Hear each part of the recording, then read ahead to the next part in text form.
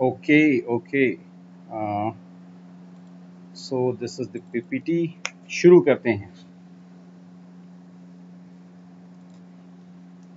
Right so good afternoon good afternoon वो connection में कुछ प्रॉब्लम थी तो मुझे दो तीन मिनट एक्स्ट्रा लग गए आई होप कोई प्रॉब्लम नहीं आई होप सारे बच्चे आ चुके हैं सारे बच्चे आ चुके हैं।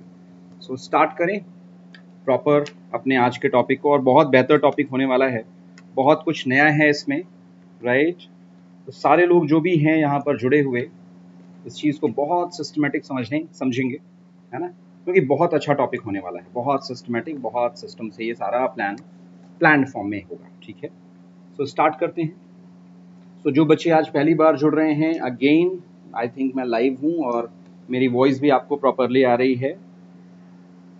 My name is Anurag Tiwari and I am teaching and training students from last six years बहुत से बच्चे जो मेरे से जुड़े हैं, बहुत से बच्चे आज बहुत अच्छे, बेहतरीन मेडिकल कॉलेज में हैं। और यही एक पर्पज़ है जिसकी वजह से मैं टीचिंग फ़ील्ड में हूँ कि अपने जैसे बहुत से बेहतरीन और कुछ, है ना पर्सनस को बना सकूँ और बहुत से बच्चों को मेडिकल कॉलेज भेज सकूँ।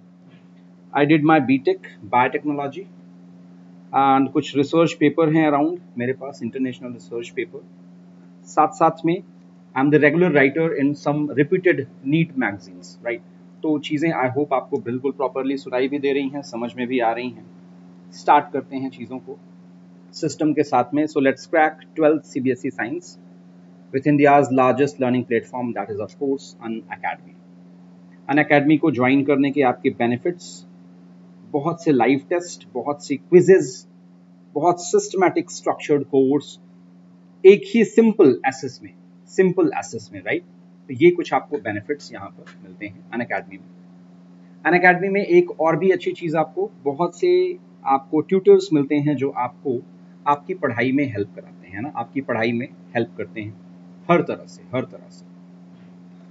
और आप उनमें से चूज़ कर सकते हैं कि आप किसके साथ में पढ़ रहे हैं, उनमें से आप चूज़ कर सकते हैं कि आप किसके साथ पढ़ना चाहते हैं and this is the main benefit this is the main benefit बहुत से सिस्टमेटिक स्ट्रक्चर्ड कोर्स हैं है ना जिसमें से आप किसी में भी चूज़ कर सकते हैं और 20 प्लस बायोलॉजी कोर्सेज अभी तक अवेलेबल हैं आपके पास जो आप करेंटली पढ़ सकते हैं। पुराने तो जो हैं वो तो है ही हैं। राइट करना कुछ नहीं है टेलीग्राम चैनल पर जाना है टेलीग्राम चैनल पर जाना है और आ, हमारे साथ जुड़ सकते हैं plus Unacademy learning platform भी आप डायरेक्टली यूज़ कर सकते हैं ऐप डाउनलोड कर सकते हैं। These are the benefits right ये सब्सक्रिप्शन के कुछ मॉड्यूल्स हैं अगर आप 12 मंथ का सब्सक्रिप्शन लेते हैं तो it will be only 12,500 but if you use my code है ना तो आप मेरा कोड यूज़ करके डायरेक्टली इसमें 10 परसेंट डायरेक्टली स्ट्रेट फॉरवर्ड आपका ऑफ़ हो जाएगा तो you can use my code हाँ आप अगर स्क्रीनशॉट मुझे भेजते हैं तो मैं आपको पैरल में कुछ अच्छी बुक्स भी दे पाऊँगा।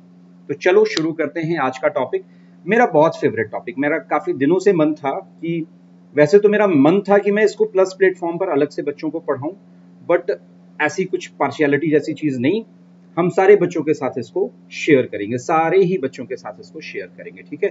तो थोड़ा सा लाइक अरेंजमेंट में आगे पीछे हो तो अवॉइड दैट कंटेंट को समझेंगे, जो मैं बताना चाहता हूँ, उस कंटेंट को बहुत ही ध्यान से समझेंगे। आज का जो टॉपिक है हमारा वो क्या? एनसीआरटी में जितने भी रटने वाले टॉपिक हैं, जितने भी उनको बहुत अच्छे से हम लोग करने वाले हैं। ठीक है? तो स्टार्ट करें। सबसे पहले कुछ टर्म्स हैं जो एनसीईआरटी में डायरेक्टली दे रखी हैं। हर एक बच्चे से बोलूँगा कि इसको बहुत ही सिस्टमेटिक तरीके से समझें। ये मैराथन क्लासेस है, जिसमें टाइम की कोई नॉर्मली लिमिट नहीं है बट मैं ट्राई करूँगा कि इसको मिनिमम दो घंटे तो चलाऊं मिनिमम दो घंटे तो चलाऊं, ताकि वो सारी चीज़ें कवर कर लें एक ही बार में आज के आज, जो हमने एनसीईआरटी में की। और इसको जिस बच्चे ने कर लिया इसकी पीडीएफ में आपको भेजूँगा, है ना? ये पीडीएफ में आपको अलग से शेयर करूँगा कहाँ पर? अपने टेलीग्राम चैनल पर। ये मेरा टेलीग्राम चैनल है। You can use this Telegram channel right और इस टेलीग्राम चैनल पर आप इसको अगर याद कर गए तो आपको कुछ और रटने की ज़रूरत नहीं है। These are the some things जब सबसे पहले स्टार्ट करेंगे तो टर्म्स में सबसे पहले टर्म वायरस को किसने किया? डायरेक्टली आपको याद रखना है किसने? पॉस्चर ने है ना? तो वर्ड याद कर ले सिस्टम ऐसे वन वन वर्ड के ही क्वेश्चन है और सिर्फ़ रटने वाले हैं। सिर्फ़ रटने वाले हैं, यहाँ कंसेप्ट से दूर दूर तक कोई वास्ता आज की क्लास में नहीं है राइट क्रोमैटिन टर्म किसने दिया? फ्लेमिंग आपकी एनसीईआरटी में है। अच्छा एक चीज़ और, कुछ चीज़ें ट्वेल्थ की हैं और बहुत सी चीज़ें इलेवंथ की भी हैं सो अवॉइड दैट थिंग अगर आपको लगता है कि अरे सर, ये तो नहीं तो आपने, आप तो ट्वेल्थ में है ना तो इलेवंथ की चीज़ें आपको ऑलरेडी पता हैं।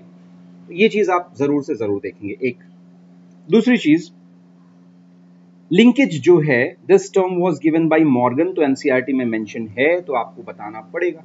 सीधी सी चीज़ right recombination term was given by recombination again same scientist Morgan T H Morgan Thomas Hunt Morgan आपको याद रखना है। अगला जो टर्म है दैट इज़ म्यूटेशन किसने दिया? देखने आपके ट्वेल्थ में डायरेक्टली है। तो ऐसी बहुत सी चीज़ें हैं जो आप लोग आ, पढ़ते हैं बट उसको याद नहीं कर पाते अरे साइंटिस्ट के नाम कौन पूछता है? एक भी पूछ लिया तो फोर मार्क्स तो गए ना या वन मार्क्स बोर्ड में तो गए। इसलिए हमको इस तरह से भी याद रखना है। आप लोगों ने इवोल्यूशन चैप्टर अगर पढ़ा है तो ठीक वरना मैं आपको आने वाले टाइम में पढ़ाऊँगा। Hugo de Vries Hugo de Vries ने टर्म म्यूटेशन दिया है। एक साथ साथ में term biodiversity is popularised by Edward Wilson सीधा सीधा क्वेश्चन आपसे पूछ लेंगे।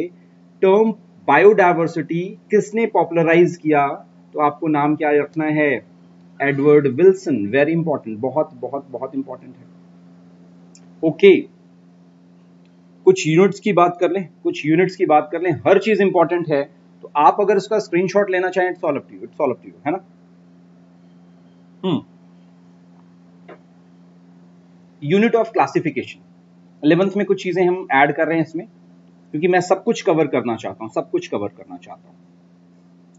ऑफकोर्स टेक्सॉन या फिर आप कैटेगरी या फिर किसी रैंक की बात कर सकते हैं बट प्रिफर आप किसको करते हैं स्पेशली टेक्सॉन एनसीआरटी में आपके तीनों ही चीज़ें दे रखी unit of neural system nephron functional unit of kidney है ना? ये न्यूरॉन है और ये नेफ्रॉन है तो इस तरह से आपको याद रखना न्यूरॉन एंड नेफ्रॉन मसल्स की यूनिट क्या है? एनाटॉमिकल यूनिट तो आपको क्या लिखना पड़ेगा? मसल फाइबर या फिर मसल सेल ठीक है? वर्ड क्या यूज़ करें आप? मसल फाइबर या फिर muscle cell very very very important ध्यान से समझेंगे सिस्टम से इस चीज़ को ना।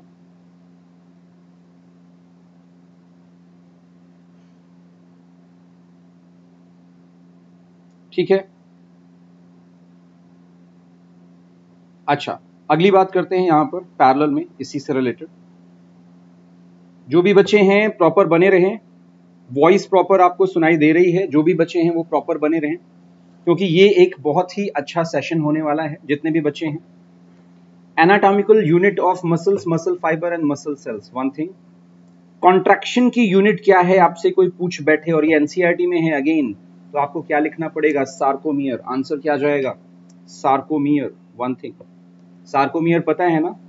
दो जेड लाइन के बीच में गैप जो था। पैरेलल में ये आपका ट्वेल्थ आ गया यहाँ पर। यूनिट ऑफ़ इनहेरिटेंस तो जो टिक कर दूँ आप उसको अपनी तरफ़ से याद समझ लें कि वो ट्वेल्थ की बात है। Unit of inheritance gene unit of inheritance is what gene ये आपको मैं इन्वायरमेंटल इशू चैप्टर में पढ़ाऊँगा। यूनिट ऑफ़ नॉइज़ पोल्यूशन तो आपको याद रखना है क्या? शॉर्ट में डेसिबल बोलते हैं और पूरा तो यहाँ लिखा ही हुआ है। है ना? तो शॉर्ट में हम इसको डीबी बोलते हैं तो आपको याद रखना पड़ेगा ना? शॉर्ट में इसको क्या बोल रहे हैं specially DB very important functional unit of nature again ये क्या है? ओजोन थिकनेस से पहले। तो डॉप्सन यूनिट प्लीज़ बच्चों, रट लो इसको सारे। सारे के सारे इसको रट लो क्या? डॉप्सन यूनिट ये सीधी रटने वाली बात है। यहाँ किसी कंसेप्ट से रिलेशन कोई है ही नहीं। जो भी बच्चे यहाँ पर हैं, और कौन कौन अभी मेरे अन अकेडमी ऐप वाले जितने भी बच्चे हैं, आज मॉर्निंग में जो भी बच्चे थे जल्दी से मुझे बता दो कौन कौन से बच्चे थे आज और अभी भी हैं वो। मुझे मैसेज करके बताओ yes sir I am from app मतलब जो भी अपना स्पेशल क्लास वाले कौन कौन से बच्चे हैं आज जो स्पेशल क्लास में थे और यहाँ पर भी आ गए हैं। जल्दी से मुझे मैसेज करके बताओ, सारे बच्चे, है ना? जल्दी से। So functional unit of nature आपको क्या याद रखना है? इकोसिस्टम क्या वर्ड यूज़ करना है? Ecosystem structural and functional unit of living cell again ये इलेवंथ की बात है, आप सेल की बात कर रहे हैं। यहाँ ये ट्वेल्थ की बात है, क्या? Reproductive unit in the angiosperm reproductive unit in okay okay काफ़ी बच्चे हैं। अर्पिता है, पुरुषोत्तम है, पूर्णिमा है। ओके गुड वंडरफुल बेटा वंडरफुल लगे रहना, पूरे लास्ट तक इस चीज़ सीरीज़ को देखना। ऐसा कुछ भी नहीं जो आपको लगेगा ये तो बहुत वो है। लेकिन ये इतनी इंपॉर्टेंट चीज़ें हैं ना, आपको लगेगा अच्छा इसको भी याद करना था क्या? ये भी रटने वाली चीज़ है क्या? एग्ज़ाम में आ जाते हैं एग्ज़ाम में डायरेक्टली आ जाते हैं। तो मतलब लास्ट तक रुकोगे तो कुछ अच्छी चीज़ें रिवाइज करा के भेजूँगा। इसकी पीडीएफ में इस पर भेज दूँगा बट समझना पड़ेगा उसके लिए एक बार। रिप्रोडक्टिव यूनिट ऑफ़ एनजियोस्पर्म सीधा क्वेश्चन आ जाता है और एनसीईआरटी में आपको रिप्रोडक्शन चैप्टर में शायद किसी ने पढ़ाया भी हो, वरना मैं अभी बताऊँगा आपको, आगे रिप्रोडक्शन चैप्टर भी मैं पढ़ाऊँगा राइट तो इसको हम क्या बोलेंगे? फ्लावर है ना? अगली चीज़ structural and functional unit of developing embryo and maternal body तो ये दो चीज़ें आपको समझनी है, ये दो चीज़ें। तो इसकी यूनिट क्या है? कनेक्शन है दोनों के बीच में that is what placenta that is what placenta किसी को कोई प्रॉब्लम नहीं होनी चाहिए। बिल्कुल ठीक है ना? बिल्कुल क्लियर सारे बच्चों को? एनसीआरटी के कुछ साइज़ की बात करते हैं और ये ट्वेल्थ का आ गया आपके पास, है ना? चलो, ये दोनों तो थोड़े से उसमें आ गए बट ये ट्वेल्थ का आ गया। पॉलन ग्रेन का साइज़ क्या है? साइजेस इन एनसीआरटी बायोलॉजी सीधी सी बात। 25 से 50 है ना? ठीक है? ओके वंडरफुल जो भी बच्चे वहाँ से हैं और यहाँ से भी हैं, दोनों भी दो अटेंड कर रहे हैं मतलब वो सिंसियर है। तो ये अच्छी चीज़ है। तो डायमीटर की बात करें, इसको वो कर दो। सो so, डायमीटर की बात करें तो यहाँ पर पॉलन ग्रेन का डायमीटर आपसे 25 से 50 की बात की जाती है हमेशा याद रखेंगे। आरबीसी ये इलेवेंथ की बात आ गई seven micrometre smallest cell eleventh में है ऑफकोर्स बट आपको याद रखना है क्योंकि आप ट्वेल्थ के बच्चे हैं एटलीस्ट ये चीज़ आप समझ सकते हैं। माइकोप्लाज्मा है ना? Mycoplasma right egg of ostrich की बात करें ये लार्जेस्ट सेल है जो भी उसमें मिलता है। अगली चीज़ इंपॉर्टेंट है। Typical eukaryotic cell typical eukaryotic cell 10 to 20 micron 10 to 20 micron ठीक है? बात को समझें। आपसे कोई क्वेश्चन पूछ ले which of the following is considered as answer क्या होगा? यूकैरियोटिक सेल है ना? आंसर क्या होगा? टिपिकल यूकैरियोटिक सेल तो आपका आंसर क्या होगा? इस बात को याद रखेंगे। तो यहाँ पर ये आपसे eukaryotic plant cell typical eukaryotic plant cell और यूकैरियोटिक अगर हम बोलें यूकैरियोटिक सेल तो चीक सेल आपको यहाँ पर शायद शायद आगे मेंशन हो जाएगा अभी। टिपिकल यूकैरियोटिक एनिमल सेल की बात करें तो चीक सेल और टिपिकल यूकैरियोटिक प्लांट सेल की बात करें तो अनियन सेल राइट साइज़ की बात करें स्पेशली साइज़ की बात करें तो ये चीज़ आपको समझनी है इंपॉर्टेंट है, ध्यान से समझो। ट्वेल्थ का data again length of E coli and length of human, length of E coli and human की बात करें तो ये डायरेक्ट डाटा रट लो बच्चा, वरना इनकी कैलकुलेशन भी अगर आपको याद है ना, वो पॉइंट थ्री फोर एक राउंड में होते हैं तो टेन में कितने हो जाते हैं? थ्री पॉइंट फोर बात समझ पा रहे हैं? और एक के बीच में पॉइंट थ्री फोर नैनोमीटर इस तरह से आपके three point three into ten power nine base pair की बात हो रही है। इस हिसाब से जब आप पूरे 6.6 आपके डिप्लॉइड में होते हैं और इस तरह से जब आप उसको कैलकुलेट करते हैं तो दैट विल बी कितना अराउंड है ना? दैट वो कितने हो जाते हैं लगभग? लगभग कितने हो जाते हैं? तो आपको याद होना चाहिए 2.2 मीटर्स की बात करें 2.2 मीटर्स की बात करें। तो ये कुछ डाटाज हैं यहाँ पर। अगली चीज़ समझते हैं पॉलन ग्रेन जनरली कैसा होता है? अगली बात क्या कर रहे हैं? पॉलन ग्रेन स्पेशली कैसा होता है? तो स्फेरिकल होता है ना? पॉलन ग्रेन स्पेशली कैसा है? स्फेरिकल है। वेरी वेरी वेरी इंपॉर्टेंट ना? ध्यान से समझेंगे इस चीज़ को। अगली बात पॉलन ग्रेन का शेप कैसा है अगर आपसे? क्योंकि हम अब क्या बात कर रहे हैं? Shape of NCERT shape of NCERT ये इंपॉर्टेंट है। अच्छा किसी को पता है न्यूक्लियोलस क्या होता है? हाँ जी, न्यूक्लियोलस क्या होता है? न्यूक्लियस के अंदर, है ना? न्यूक्लियस के अंदर जो न्यूक्लियस लाइक स्ट्रक्चर है that is called as what उसको हम न्यूक्लियोलस बोलते हैं। इसका शेप कैसा है? एनसीईआरटी में डायरेक्टली इस शेप के बारे में दे रखा है क्या? Spherical shape very important spherical shape centriole का शेप कैसा है? आपने सेंट्रियोल इलेवंथ में पढ़ रखा है। मेरा सिर्फ़ एक पर्पज है आपको पढ़ाने का ना। इलेवंथ तो है ही है, साथ में सारी ट्वेल्थ उठाकर डाल दी है यहाँ पर। तो आपको ये पढ़ना पड़ेगा। अच्छा सेंट्रियोल का शेप कैसा है? सिलेंड्रिकल शेप ना, आपको ये चीज़ पता है ना कि एक सेंट्रियोल और फिर इसी में दूसरा सेंट्रियोल। इसी में कैसा? दूसरा सेंट्रियोल। मेरी बात समझ पा रहे हैं? तो ये जो है यहाँ पर सेंट्रियोल सिलेंड्रिकल इन शेप अगली बात करते हैं माइटोकॉन्ड्रिया। माइटोकॉन्ड्रिया का शेप कैसा है? प्लीज़ मेरी बात को सारे बच्चे समझेंगे। स्पेशली तो सॉसेज शेप सिलेंड्रिकल भी लिखा है तो आप इसको ऑप्शन में मान सकते हैं ज़रूर, आराम से, कोई प्रॉब्लम नहीं है। बट सॉसेज शेप को स्पेशली याद रखें। अच्छा। आरबीसी की बात करें, और आरबीसी किस शेप का है? तो बाई कनकेव या फिर राउंड शेप का है ना? बाई कनकेव या फिर राउंड शेप का है। ठीक है? मिजोफिल सेल्स है ना? मिजोफिल्स कहाँ पर मिलते हैं? याद है आपको?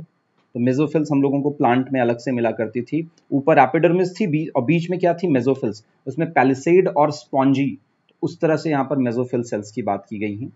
They are round and oval in shape तो ये सीधा सर ऐसे क्वेश्चन आते हैं क्या? नहीं आते। लेकिन ये कहीं नहीं लिखा कि ऐसे क्वेश्चन नहीं आएँगे। हमें हर तरह से अपने आप को प्रिपेयर करना है राइट और वही उसी प्रोसेस में लगा हुआ हूँ। उसी प्रोसेस में मैं आपके साथ लगा हुआ हूँ। तो जो बच्चे यहाँ तक गुड आफ्टरनून बेटा every good afternoon right so जो बच्चे यहाँ पर साथ में चलेंगे ना तो किसी अच्छे बेहतरीन प्लेटफॉर्म पर हम लोग ज़रूर पहुँचेंगे, अच्छी जगहों पर पेशेंस रखना पड़ेगा ना। आपको लगे, अरे, ये क्या हो रहा है, वो कार्य तो मुझसे बात करो ना कि, सर, अभी अगला टॉपिक कैसे पढ़ाने वाले हो आप? आपको पूछना पड़ेगा कि, सर, क्या प्लान है? फॉर एग्ज़ाम्पल मेरे बहुत से सिंपल प्लान हैं, बहुत सिंपल प्लान आपको ट्वेल्थ की बायोलॉजी अक्टूबर तक अच्छे से रटा देनी है कंसेप्चुअली भी और रटने वाले पॉइंट ऑफ़ व्यू से भी। तो ये एक मेरी तरफ़ से एफर्ट है आप लोगों के लिए कि आप ट्वेल्थ की बायोलॉजी को टिप्स पर कर पाए, है ना? राइट और ट्वेल्थ की बायोलॉजी अच्छी हो गई, इसमें तो बहुत कुछ इलेवंथ का भी है तो ऑटोमेटिकली पॉसिबिलिटी आपकी बढ़ जाएगी, है ना? ट्रैकिड्स आपने इलेवंथ में पढ़े हुए हैं, कैसे शेप हैं? इलांगेटेड और एक चीज़ याद करें, मैंने यहाँ ट्राई तो किया है सब कुछ कवर करने का बट जो थोड़े से ट्रिकी होते हैं फॉर एग्ज़ाम्पल ये ट्रिकी है हेनलेज लूप जो नाम थोड़े से ट्रिकी हैं, किस शेप का है हेयर पिन आपको पता है है ना? हेयर पिन ऐसी होती है तो हेयर पिन बेंडिंग के फॉर्म में यहाँ पर है तो ये चीज़ें आपसे थोड़े से ट्रिकी क्वेश्चन पूछे जाते हैं। जो सिंपल हैं लॉन्ग हैं ब्रांच हैं, ऐसे क्वेश्चन रेयरली पूछे जाएँगे बट ट्रिकी चीज़ें आपसे ज़्यादा पूछ ली जाएँगी। डब्ल्यूबीसी कैसा है? अमीबॉइड शेप का है, ठीक है? ओके एनसीआरटी में चीज़ मेंशन है nerve cell is the longest cell तो लॉन्ग एंड ब्रांच्ड फॉर्म में लॉन्ग एंड ब्रांच्ड फॉर्म में। स्टमक कैसा है? जे शेप है। स्टमक कैसा है? जे शेप है। स्प्लीन एंड किडनी कैसी है? बीन शेप्ड है। स्प्लीन एंड किडनी कैसी है? बीन शेप है। तो ये दोनों ही आप याद करेंगे। बीन का शेप कैसा होता था, याद है? बीन का शेप कैसा होता था? अगर याद है तो। तो ये कुछ चीज़ें आपको याद रखनी पड़ेंगी, सारे बच्चे, है ना? आज की क्लास में बहुत कुछ नया है। तो लास्ट तक देखो, आप सोचोगे कि अच्छा ये मैंने क्यों नहीं सोचा? ये भी तो रटने वाला ही था। बात समझ पा रहे हो? तो वो उसके लिए लास्ट तक रुक कर समझना पड़ेगा। हम्म। अगली चीज़, ध्यान से समझे। बोमेंस कैप्सूल आपको पता है, कहाँ पर मिला करता था, अगर आपको याद है? किडनी वाले पार्ट में। तो कैसा है? डबल वॉल्ड है क्या? ये क्वेश्चन बन सकता है? Bowman's capsule is single walled या डबल वॉल्ड बन सकता है या नहीं बन सकता? बन सकता है, एक बार दूसरी चीज़ हार्ट का शेप कैसा है? क्लेंस्ड फ़िश मतलब बंधी हुई मुट्ठी की तरह साइज़ वाइज है ना? ये आपको याद रखना है। ऑक्सीजन डिसोसिएशन कर्व आपने इलेवंथ में पढ़ा था सिग्मोइड फॉर्म में ना, इस तरह से जाता था। याद है? तो ये चीज़ें आपको यहाँ पर पता होनी चाहिए सिग्मोइड फॉर्म में। Diaphragm dome shape smooth muscle fusiform shape कैसी? फ्यूसी फॉर्म शेप्ड ओके सीटे की बात कर रहे हैं, है ना? सीटे आपने पढ़ा हुआ है ऑलरेडी है ना? तो सीटे इज़ एस शेप्ड या फिर आप जो भी सिग्मोइड भी कहीं कहीं लिखा हुआ है। इंटेस्टाइनल सीके है ना? की बात जब मैं कर रहे हैं तो सीकम वगैरह की जो बात है तो कॉनिकल शेप ना? कॉनिकल शेप आपको यहाँ पर याद रखना है। Root hairs are thread like root hairs किस शेप के हैं? थ्रेड लाइक सो so, आपसे क्वेश्चन पूछेंगे है ना कि रूट हेयर्स का शेप क्या है ऐसा या थ्रेड लाइक शेप है ना found in our hair found in our hair is root of the hair ऐसे क्वेश्चंस कुछ उठपटांग के कभी भी पूछ लें। आपको हर तरह से अपने आप को प्रिपेयर्ड रखना है। देखो कोई भी शॉर्टकट नहीं है पढ़ने का ना। हमको हर चीज़ कवर करनी होती है हर चीज़। हाँ वो अलग बात है कि आपको थोड़ा सा डर लगता सकता है कि अरे इतना ज़्यादा कैसे याद होगा?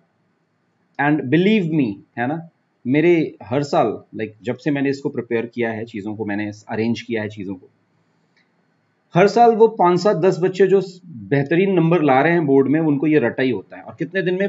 पाँच से दस दिन में सारी चीज़ें रट डालते हैं वो। दो दो चार चार पेज करके सारा ही रट डालते हैं। अभी पीडीएफ भेजूँगा ना तो उसका प्रिंट आउट निकाल लेना। उसका प्रिंट आउट निकाल लेना बहुत इंपॉर्टेंट है बहुत ही ज़्यादा इंपॉर्टेंट है। राइट सो रूट हेयर हो गए। रूट कैप किस शेप के? थिम्बल लाइक है ना? रूट कैप कैसे? थिम्बल लाइक थिम्बल स्ट्रक्चर आप समझ रहे हैं। टंग ऑफ़ फ्रॉग दे रखा है ना इलेवेंथ क्लास में। बाई लोब्ड इसमें दो लोब है ना। बाई फर्केटेड फॉर्म में। तो बाई लोब्ड के फॉर्म में। अच्छा जी, ध्यान से समझें। ये ट्वेल्थ आ गया, ये ट्वेल्थ आ गया, ये ट्वेल्थ आ गया। क्या आ गया ट्वेल्थ में?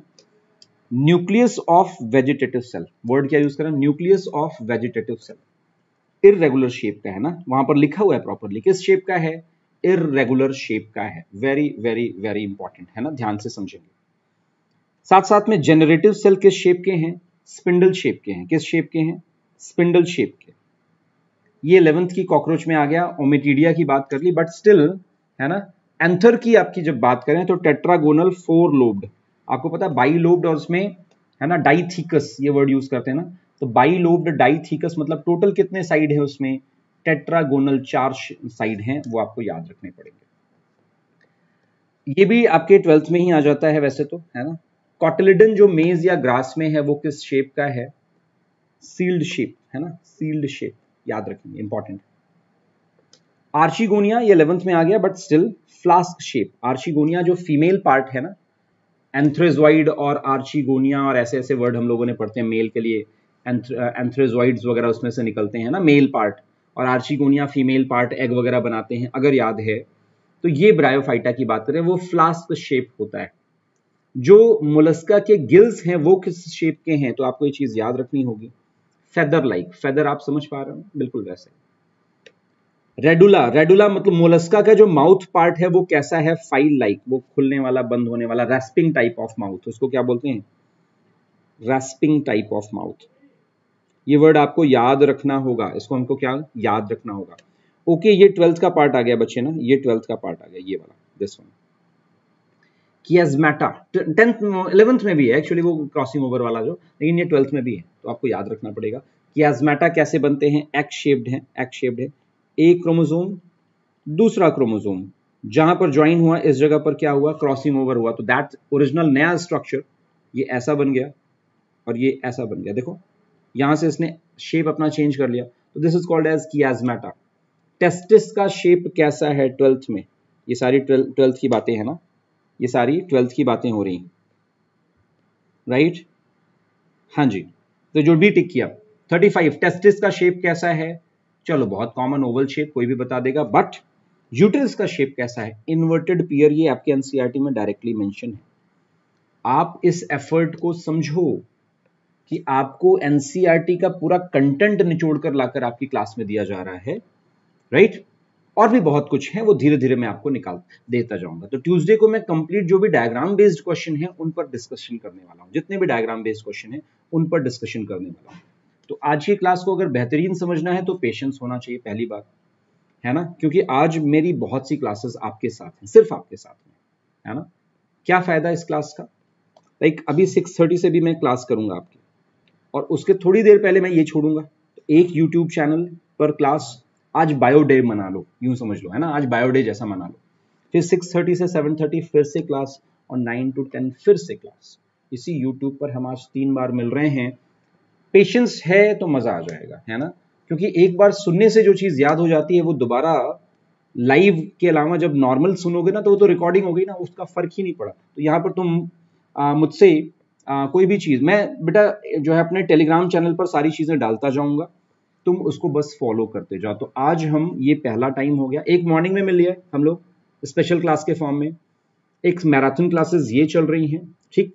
और एक, इसके बाद, अभी कौन सी क्लास सिक्स थर्टी पर क्लास होगी सेवन थर्टी तक, है ना? और फिर फाइनली हम लोग तो उसमें हम लोग कुछ फर्दर क्लासेस टॉपिक्स करेंगे। जैसे कल हमने रिप्रोडक्शन की बातें स्टार्ट की थी। और फिर फाइनल हम लोग यहाँ पर, जो लेट नाइट वाली क्लासेस हैं, उसमें कुछ नेक्स्ट चैप्टर की बात करेंगे। जेनेटिक्स वगैरह की बातें हम स्टार्ट कर सकते हैं, ठीक है ना? उसको भी ढंग से करना है। यूटर्स का स्ट्रक्चर कैसा है? डायरेक्ट रटना पड़ेगा, मैं दोबारा बता दूँ, आज की क्लास में कंसेप्ट का दूर दूर तक कुछ भी लेना देना नहीं, सिर्फ़ रटने वाली बातें, सिर्फ़ और सिर्फ़ रटने वाली बातें। तो यूटरस इन्वर्टेड पियर शेप का है। इन्वर्टेड पियर समझते हो ना? जो भी आप लोग हिंदी में बोलते हो तो उसके इन्वर्टेड फॉर्म में। लाइक दिस इन्वर्टेड पियर वो जो नास्पति बोलते हो आई डोंट नो क्या हिंदी में बोलते हो आप लोग। आपके यहाँ क्या बोलते हैं? Fimbriae and clitoris finger like structure है ना? तो ये देख रहा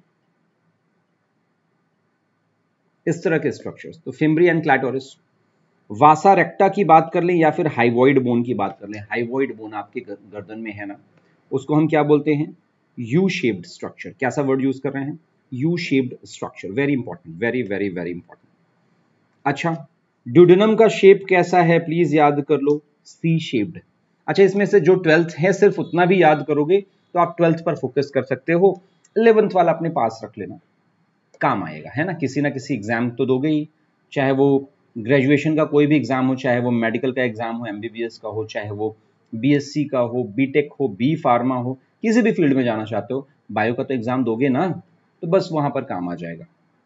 अच्छा ये लॉजिस्टिक ग्रोथ कर्व की बात कर रहे हैं, पूरा नाम था Verhulst Pearl logistic growth curve वो भी क्या है सिग्मोइड शेप का है। तो ग्रोथ कर्व लॉजिस्टिक ग्रोथ हमेशा सिग्मोइड ही होते हैं तो ये वर्ड आपको याद रखना होगा। अगली चीज़, ये भी आपके ट्वेल्थ में ही है एक्सपोनेंशियल या फिर ज्योमेट्रिकल ग्रोथ कर्व कैसा होगा?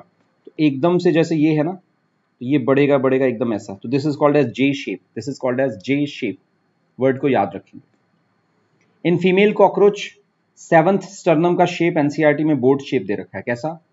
बोट शेप दे रखा है। तो आपको स्पेशली ये चीज़ याद रखनी पड़ेगी। आपको ये चीज़ स्पेशली याद रखनी पड़ेगी, बिना किसी कंफ्यूजन के।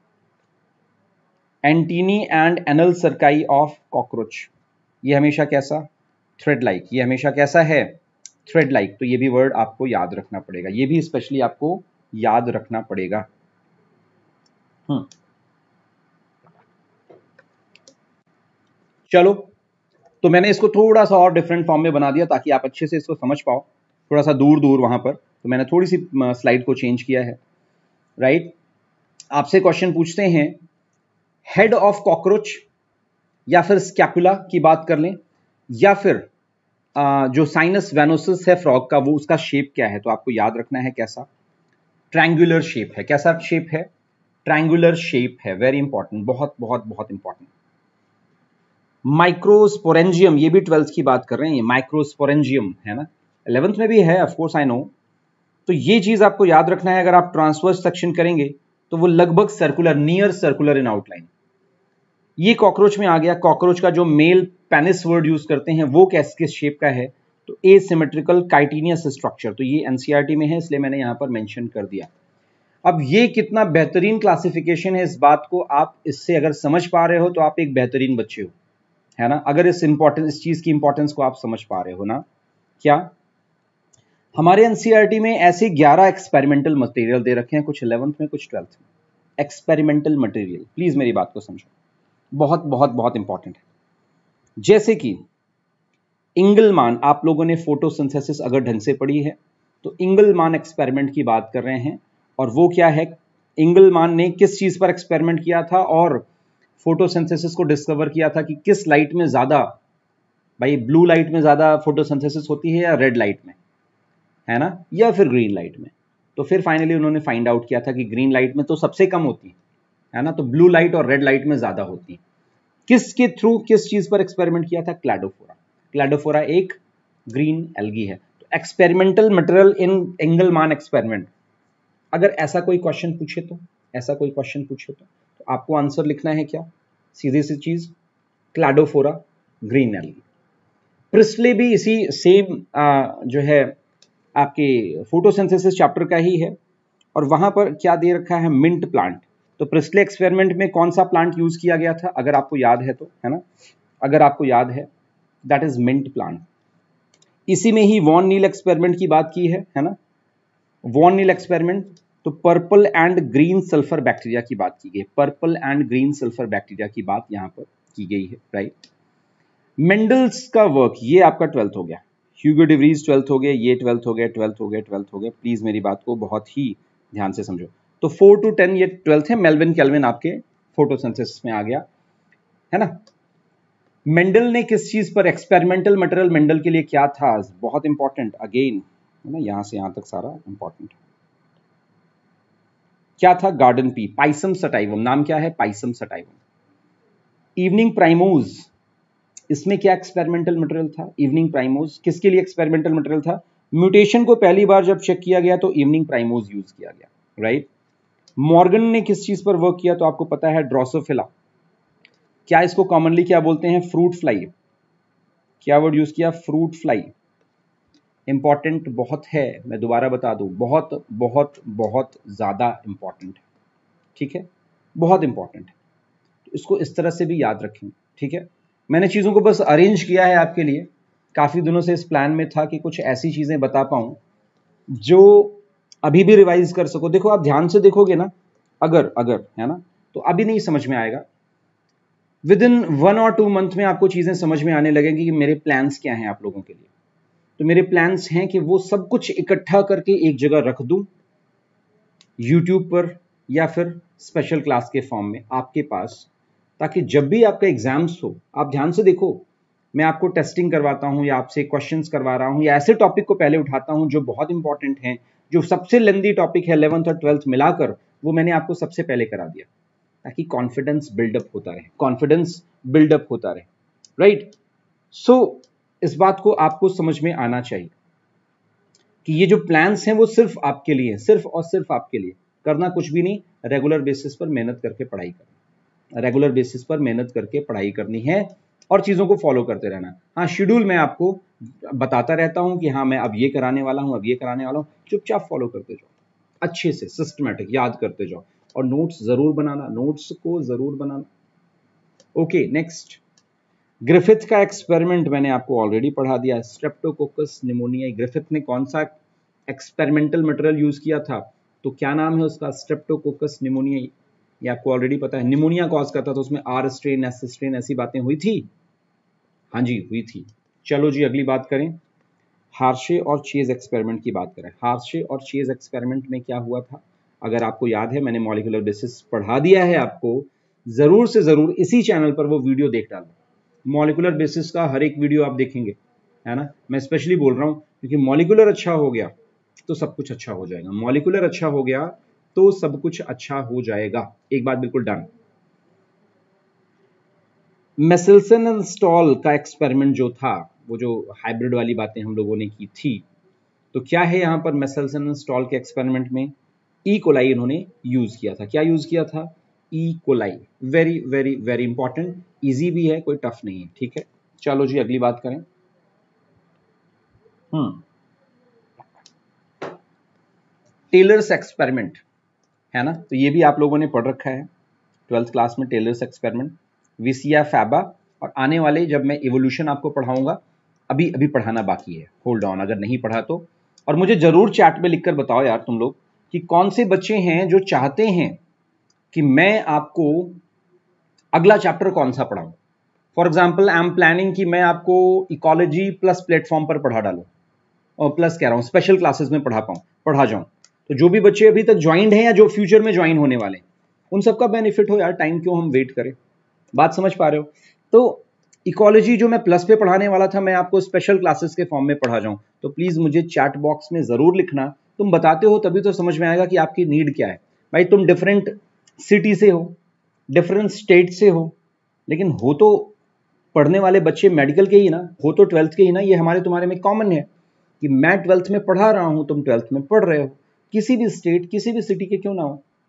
अच्छी बात यह कि तुमको मेरी लैंग्वेज समझ में आती है तो हम लोगों की लैंग्वेज सेम है हम पढ़ते इंग्लिश में हैं, समझते हिंदी में है mixture Hindi English word use करते हैं ना मिक्सचर बहुत से ऐसे बच्चे हैं जिनको सिर्फ़ हिंदी में समझने में प्रॉब्लम होती है। दे नीड वो इंग्लिश वाली वो चीज़ें। तो मैं पहले एक राउंड हिंदी वाले जितने भी आप जैसे बच्चे हैं, उनके साथ कनेक्ट हो जाऊँ। फिर स्पेशल कोर्स क्लास जो है सेशन के एंड में मैं लॉन्च करूँगा, जिसमें प्योर इंग्लिश की बातें होंगी। सिर्फ़ इंग्लिश, ताकि उन बच्चों को भी मैं समझा सकूँ, उन बच्चों तक भी पहुँच सकूँ, जिनको हिंदी नहीं समझ में आती। और ऐसे बहुत से बच्चे हैं यस ऐसे बहुत से बच्चे हैं, जिनको इंग्लिश, हिंदी बिल्कुल नहीं समझ में आती, सिर्फ़ और सिर्फ़ इंग्लिश समझ में आती। ठीक है? ये टेलर्स वर्क में आपको याद रखना है क्या? विसिया फैबा क्या नाम है इनका? विसिया फैबा ये फैबा बीन्स है, इस पर इन्होंने वर्क किया था, ठीक है? वो बीन्स के फॉर्म में। कैलविन का एक्सपेरिमेंट में क्या यूज़ हुआ था? एल्गी तो आपको ये चीज़ याद होनी चाहिए। तो ये four five six seven eight nine ten ये सारे ही ट्वेल्थ में है। सीधी बात, एक जगह लिख लेना। जो भी ट्वेल्थ में बता रहा हूँ, उसको ज़रूर टिक करके रख लेना। ठीक? हाँ ये वाले ट्वेल्थ के नहीं थे ना? ये वाले ट्वेल्थ के नहीं थे। मैंने forty four forty five forty six ये वाले अलेवंथ के हैं तो मैंने ऐसे टिक कर दिया समझाने के लिए। ना अर्नेस्ट मेयर है ना? देखा है ना? आपके उसमें है। ठीक है? उसी तरह से स्लीडन एंड सोन नाम सुना है तो स्लीडन कहाँ के थे? जर्मन कौन से साइंटिस्ट और उनकी रिलेटेड फ़ील्ड तो एक तो जर्मनी के थे और ऊपर से बॉटनिस्ट थे बॉटनी है ना? जैसे अर्नेस्ट मेयर क्या थे? बायोलॉजिस्ट थे और इवोल्यूशनरी बायोलॉजिस्ट थे। उनके रिलेटेड फ़ील्ड क्या थी? बायोलॉजी इवोल्यूशनरी बायोलॉजी एक चीज़। जूलियन वॉन सैकिए फिर वही इलेवंथ वाली बात आ गई। ये भी जर्मनी के थे और ये भी जर्मन बॉटनिस्ट थे। कौन? German botanist very important Theodore Schwann मैंने बोला ना स्लीडन एंड सोन की बात हुई। तो ये ब्रिटिश जोलॉजिस्ट थे और इन्होंने सेल थियरी दी थी, याद है? सेल थियरी दी थी, अगर किसी को याद है। तो ये चीज़ें आपको समझ में आनी चाहिए, है ना? ये चीज़ें आनी चाहिए। ये वॉन नील की बात हम लोग कर रहे हैं, पूरा नाम आपने नहीं पढ़ा होगा। वॉन नील के नाम से हमेशा समझते आ रहे हो तो ये एक माइक्रोबायोलॉजिस्ट थे, है ना? कॉर्टी है ना? तो इटालियन एनाटोमिस्ट थे, है ना? कॉर्टी आपने नाम सुना है, ठीक है? तो ऑर्गन ऑफ़ कोटाई वही तो है ना ये ऑर्गन वो कान वाले। ठीक है, ये ईयर वाले हैं भाई साहब, जिन्होंने ऑर्गन ऑफ़ कोटाई वाली बात की थी। तो एल्टोन्सो कॉटाई नाम है साइंटिस्ट का, ठीक है? एल्टो एल्फोंसो है ना? एल्फोंसो कॉटाई ईयर वाले तो इटालियन एनाटोमिस्ट थे। और डॉग्योन की बात कर रहे हैं, है ना? डब्ल्यू डॉग्योन तो ये मिशनरी सिंपल टीचर थे, अगर आपने इनका नाम सुना है। और नहीं तो ढूंढो एक बार, बताओ मुझे कि कहाँ पर है। एक अच्छा मेथड बताऊँ, चीज़ों को कैसे सर्च करते हैं।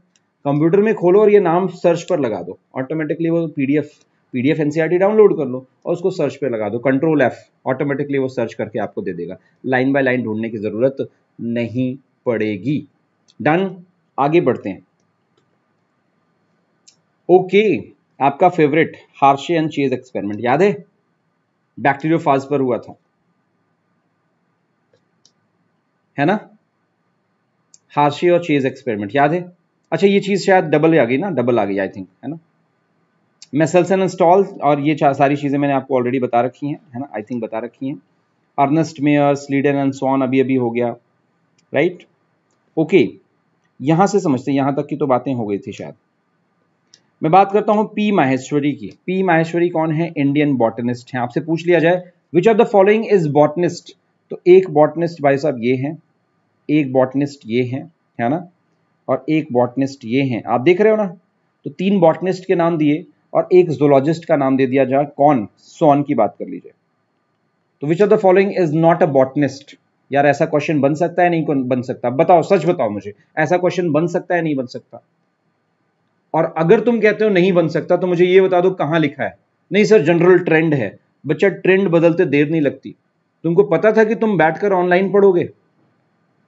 कोरोना ने तुमको ऑनलाइन पढ़ना सिखा दिया। हम लोग तो पहले से पढ़ाते आ रहे हैं राइट हम लोगों की इंस्टीट्यूट में भी ऑनलाइन सारी चीज़ें सिस्टम है। बच्चों को हम इवनिंग में क्लासेस वगैरह लिया करते हैं राइट बट तुमको ऑनलाइन पढ़ना सिखा दिया कोरोना ने। सिचुएशन बदलते तो देर नहीं लगी। बिल्कुल वैसे ही। क्वेश्चन कैसे भी पूछे जाएँ, आप अगर प्रिपेयर्ड और सेलेक्ट वही बच्चा होता है जो हर तरह से प्रिपेयर्ड रहता है, हर तरह से प्रिपेयर्ड रहता है। वेरी इंपॉर्टेंट चलो जी, अगली बात कर रहे हैं। इंपॉर्टेंट है, ध्यान से समझेंगे। हम्म। तो मैं वही कह रहा हूँ ना पेशेंस है तो मेडिकल लिया है तो बहुत अच्छी बात है। पेशेंस ही नहीं है तो मेडिकल लेने का कोई फ़ायदा नहीं बच्चे, कोई फ़ायदा नहीं। और पेशेंस कहाँ से चेक होता है? यहीं से। आपके साथ मॉर्निंग में वन आवर मैराथन क्लासेस में टू आवर फिर इवनिंग में एक घंटे, फिर रात में एक घंटे अगेन। कितने घंटे हो गए? One two three four five five hours तो आपके साथ लगा दिए। राइट? तो ऑफ़ क्यों किया जाए? जब बच्चों को पढ़ना है, ज़्यादा से ज़्यादा पढ़ा सकते हैं हम। और एक छोटी सी चीज़, सारे बच्चे इस चीज़ को सीख लो, अगर सीखना चाहते हो तो। There is no moral Sunday in your daily life ये संडे उनके लिए बना हुआ है है ना? जो एक नॉर्मल लाइफ चाहते हैं। एक अच्छी जगह जाना चाहते हो ना तो सिर्फ़ ये साल तुम्हारा है ट्वेल्थ क्लास तुम्हें नहीं पता। कि ट्वेल्थ क्लास की इंपॉर्टेंस कितनी हो सकती है तुम्हारी लाइफ में। ट्वेल्थ क्लास से तुम एक सिंपल से बीएससी के स्टूडेंट बन सकते हो। ट्वेल्थ क्लास से तुम एक नॉर्मल uh, एक फार्मासिस्ट बन सकते हो है ना? ट्वेल्थ क्लास से तुम एक ग्रेजुएट सिंपल बन सकते हो एक बीटेक बायोटेक्नोलॉजी इंजीनियर बन सकते हो बायो इन्फॉर्मेटिक्स इंजीनियर बन सकते हो और या फिर इसी ट्वेल्थ क्लास से है ना? इसी ट्वेल्थ क्लास के जस्ट बाद निकलकर तुम एक बहुत बेहतरीन मेडिकल कॉलेज में पहुँच सकते हो, जहाँ पर तुम्हारे आगे डॉक्टर लगेगा। कॉन्फिडेंस इतना होगा लाइफ में, इतना कॉन्फिडेंस होगा कि तुम जो चीज़ भी अचीव करना चाहते हो, तुम उस डिग्री से अचीव कर सकते हो। इतनी चीज़ें और आपको ये चीज़ पता होनी चाहिए, अन अकेडमी प्लेटफॉर्म चलाने वाले भी कौन? अगर आपको पता है तो वो भी एक डॉक्टर, देन आई मैं डॉक्टर रोमन सैनी की बात कर रहा हूँ, है ना? अगर आपको पता है तो। और नहीं पता तो भाई आप जिस इंस्टीट्यूट में, जिस एकेडमी में पढ़ रहे हैं अन अकेडमी में, आपको उसके बारे में जानना चाहिए राइट डॉक्टर रोमन सैनी ने कैसे एम्स क्रैक किया सबसे छोटी एज में 16 की एज में, है ना? कैसे उन्होंने यूपीएससी क्वालिफाई किया सबसे छोटी एज में? और आज आप सारे जैसे बच्चों को, बहुत से बच्चों को वो डेली कैटर कर रहे हैं। लाइक like आप यूँ समझ लें कि जैसे मेरी क्लासेस टाइम चल रही है ना, पूरे दिन भर में 1500 प्लस क्लासेस चलती हैं। कितनी? यस आप सही सुन रहे हो। 1500 प्लस क्लासेस डेली चलती हैं अकेडमी पर। अलग अलग प्लेटफॉर्म पर। और आपको ये भी बता दूँ कि बहुत से प्लेटफॉर्म्स हैं। यूट्यूब के बहुत से चैनल्स है ना? प्लस स्पेशल क्लासेस के बहुत से चैनल्स आपको गोल में भी बहुत से ऑप्शंस दिखते हैं। तो आप सोचो, बच्चों के लिए कितनी चीज़ें की जा रही और आप कुछ भी अचीव कर सकते हो। टेक्निकली आप कुछ भी अचीव कर सकते हो अलॉन्ग विथ योर, वो जो बोलते हैं ना, वो जील है, एक गुस्सा है, एक जिद है जिद बहुत इंपॉर्टेंट चीज़ है लाइफ में। और करना कुछ नहीं, यही छोटे छोटे स्टेप्स के साथ में आप बहुत दूर निकल जाते हो। धीरे धीरे ही सही, पर राह पे तो चलिए। तो ये चीज़ याद रखेंगे, है ना? पी माहेश्वरी कौन थे? एक बॉटनिस्ट थे अगेन तो ऐसे क्वेश्चंस बनते हैं, कभी भी ये मत सोचो, खुद से ही समझ लिया कि जी, ये नहीं आता। ऐसा नहीं करना है, ऐसा बिल्कुल नहीं करना ओके पुण्यट आपने, आपको मैं पढ़ाऊँगा ना, बस अभी जस्ट शुरू करने वाला हूँ, शायद आज से ही शुरू कर दू। क्या? ये एक ब्रिटिश जेनेसिस थे जेनेटिक्स वगैरह के बाद पुण्यट स्क्वायर आपने पढ़ा है ना? ऐसे ऐसे ऐसे जेनेटिक्स में बनाते थे capital T small T capital T small T फिर टी टी ऐसे याद आ रहा है ना? That is called as Punnett name George Gamow क्या वर्ड यूज़ किया? जॉर्ज गैमो अगर आपने जेनेटिक कोड के बारे में मेरे से पढ़ा है तो जॉर्ज गैमो एक फिजिसिस्ट थे। Right right? कोई कंफ्यूजन नहीं। अगली बात, अल्फ्रेड वैलिस, ये जो मालथस थे ना आपके, इस बात को समझेंगे। यहीं से कुछ चीज़ों को उन्होंने, दोनों लोगों ने आपस में मोटिवेट हुए कि अच्छा आप पॉपुलेशन के बारे में समझ रहे हैं, मैं भी चलो पढ़ता हूँ उनके बारे में। तो अल्फ्रेड वैलिस का नाम आता है, बहुत इंपॉर्टेंट है। तो मैं इवोल्यूशन में आपको पढ़ाऊँगा लेमार्क भी आपको किसमें आते हैं? इवोल्यूशन में आते हैं फ्रेंच थे। ऐसे क्वेश्चंस पूछे जा सकते हैं जो रटने वाले हैं। जो रटने वाले हैं। मैं आपको शीट दे भी सकता था बट मैंने कहा, एक मैराथन क्लासेस में हर वो चीज़ करते हैं, जो आप बता सकते हैं, और आगे से मैं ट्राई करूँगा कि ऐसी चीज़ें आप, आपके साथ में कहाँ पर करूँ? आपके साथ में कहाँ पर करूँ? जो अपनी स्पेशल क्लास है, ताकि आप पोलिंग के थ्रू आंसर्स बता सको। अच्छा आज के क्वेश्चंस कैसे लगे थे पोलिंग वाले? समझ में आए थे अच्छे से? कल इसी को और सिस्टमेटिक करूँगा अपना, जो कल इवनिंग में मैं क्लास लूँगा सिक्स वाली पोलिंग की। डिज़ीज़ की क्लास लूँगा कल ना इवनिंग में सिक्स थर्टी स्पेशल क्लास तो उसमें हम लोग पोलिंग के थ्रू काफ़ी सिस्टमेटिक से सेम चैप्टर करने वाले हैं डिज़ीज़ को। जो बचे हुए क्वेश्चन है ना, सारे करेंगे। तो अच्छे से प्रिपेयर करके आना। हम्म। अगली बात, ध्यान से समझें। एडवर्ड विल्सन नाम सुना हुआ है? सोशियो बायोलॉजिस्ट क्या नाम है? सोशियो बायोलॉजिस्ट एडवर्ड विल्सन आप लोग ने पढ़ा है तो ठीक, वरना मैं आपको ऑटोमेटिकली इस चैप्टर में पढ़ाऊँगा। अगली बात करें पॉल एनरिच का नाम सुना है। पॉल एनरिच एनसीईआरटी में है है ना? और इकोलॉजिस्ट तो जब इकोलॉजी चैप्टर पढ़ेंगे तो हम लोग इस बात को और अच्छे से समझेंगे। वो राय पॉपर हाइपोथेसिस और बहुत सी चीज़ें वहाँ पर हैं, वो हम लोग वहाँ पर समझते हैं। प्रोफेसर रामदेव मिश्रा है ना? आर डी मिश्रा ये इंडियन इकोलॉजिस्ट थे, बहुत इंपॉर्टेंट नाम है, ज़रूर याद रखें। है ना? फ्रांसिस ये Jacob and Monod one gene one enzyme hypothesis वाली बात है यहाँ पर। ये भी आपको जेनेटिक्स वाले चैप्टर में और अच्छे से समझाया जाएगा राइट तो इसको भी अच्छे से याद रखें। तो ये जेनेटिक्स के साइंटिस्ट थे और ये बायोकेमिस्ट थे मोनाड और दोनों ने मिलकर वो वन जीन वन एंजाइम वाले हाइपोथेसिस दी थी। तो साइंटिस्ट के नाम आपको याद रखने हैं। Alexander von Humboldt Robert Popper hypothesis याद है? बस, उसी की बात जर्मन थे, एक। और फिर फाइनली यहाँ पर डेस्कार्ड की बात की गई है। ये एक सिंपल फिलोसफर मैथमेटिशियन और बायोलॉजिस्ट तीनों ही हुआ करते थे ना, तीनों ही हुआ करते थे। तो ये कुछ बातें आपको यहाँ पर बताई गई अगले पर जंप करें, कुछ नई बातें सीखें, क्या हो सकता है। एनसीईआरटी में देखो, हमने क्या देख लिया? टर्म्स देख लिए, याद है? टर्म्स के बाद शेप देख लिए साइज़ देख लिए और साइंटिस्ट के नाम देख लिए। एनसीईआरटी में और क्या हो सकता है? एनी आइडिया गेस करो। पीएचडी देखो कहाँ कहाँ से चीज़ें उठाकर लेकर ये एनसीईआरटी की चीज़ें हैं, है ना? ये एनसीईआरटी की चीज़ें हैं। एनसीईआरटी में ऐसे कौन से साइंटिस्ट हैं जिनको पीएचडी मिल चुकी है और कहाँ से मिली ये रटना पड़ेगा, है ना? ये रटना पड़ेगा ना? तो ये कैथरीन करके साइंटिस्ट हैं। इनको, इनकी पीएचडी 1931 में हुई थी। प्रोफेसर रामदेव मिश्रा ये फॉरेन में पढ़े थे, लीड यूनिवर्सिटी में, यूके में है, यूनाइटेड किंगडम में। और काम की बात ये कि ये 1937 है ना? क्या बात कर रहे हैं? 1937 में इनको पीएचडी मिली। ये बात आप याद रखेंगे? इकोलॉजी से ना? इकोलॉजी से। हम्म। ओके okay, 1947 की बात कर रहे हैं। G N Ramachandran Ramachandran plot protein से रिलेटेड है। अगर आप मेरा तो पूरा रिसर्च ही प्रोटीन पर है है ना?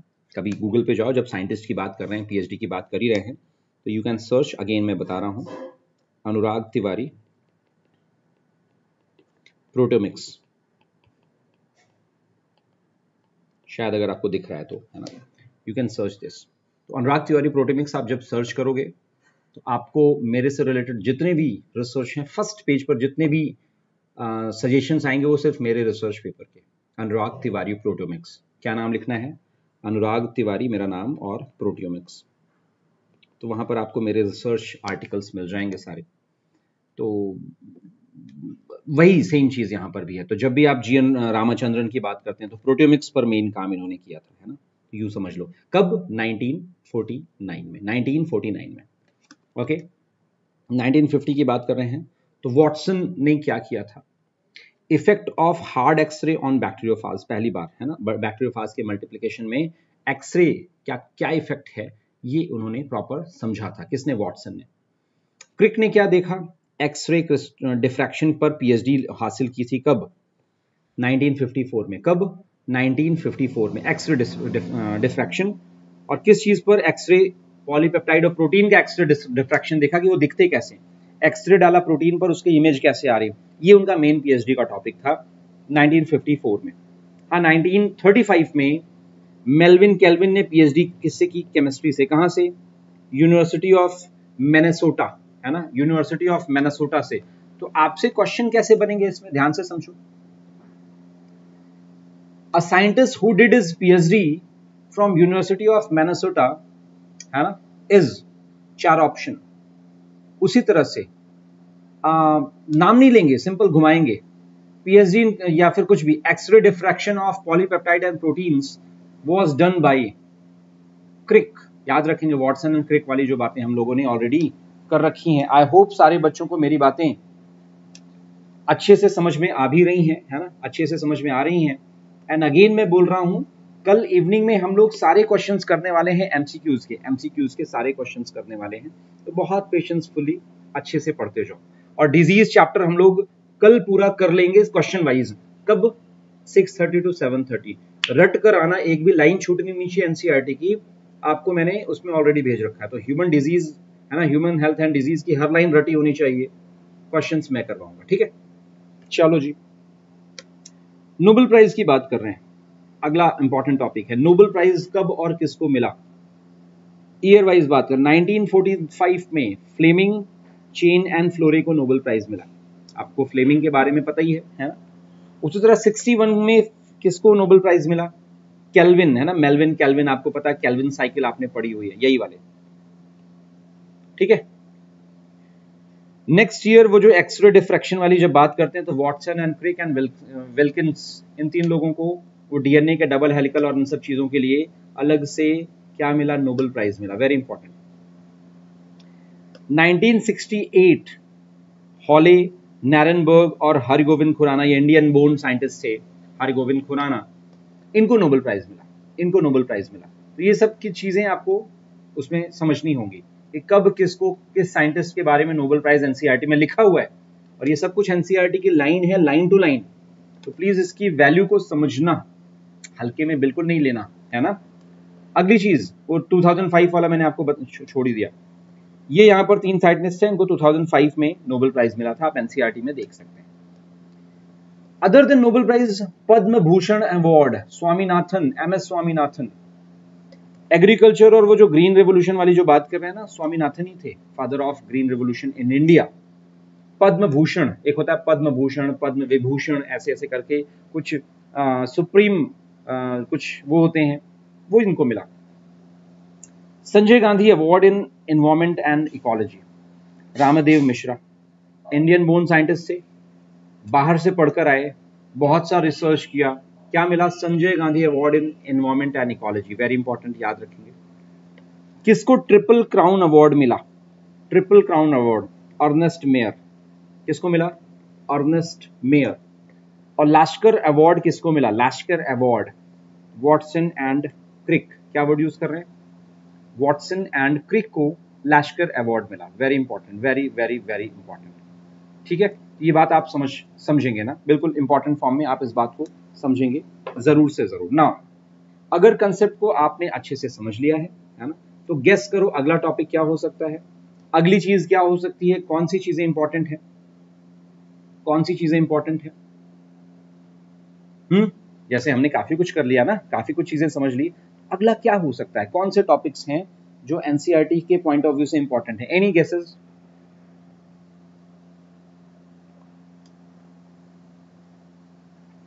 ये छोटी छोटी चीज़ें ट्वेल्थ में इंपॉर्टेंट हैं। लाश्कर अवार्ड लिखा था, कहीं देखा आज तक क्या? कहीं सच में पढ़ा था? ईमानदारी से बताओ। यस और नो में, है ना? नहीं पढ़ा था या पढ़ा था, इस टाइप के आंसर्स एक बार ज़रूर लिखना, है ना? एक घंटे हो गए, पता चला क्या? एक घंटे हो गए। मज़ा आ रहा है? समझ में आ रही चीज़ें?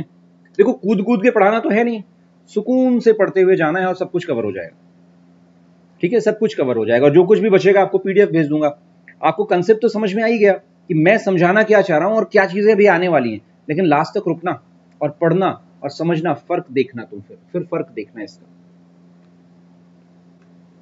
तो next one is full form बहुत फेवरेट है मेरा।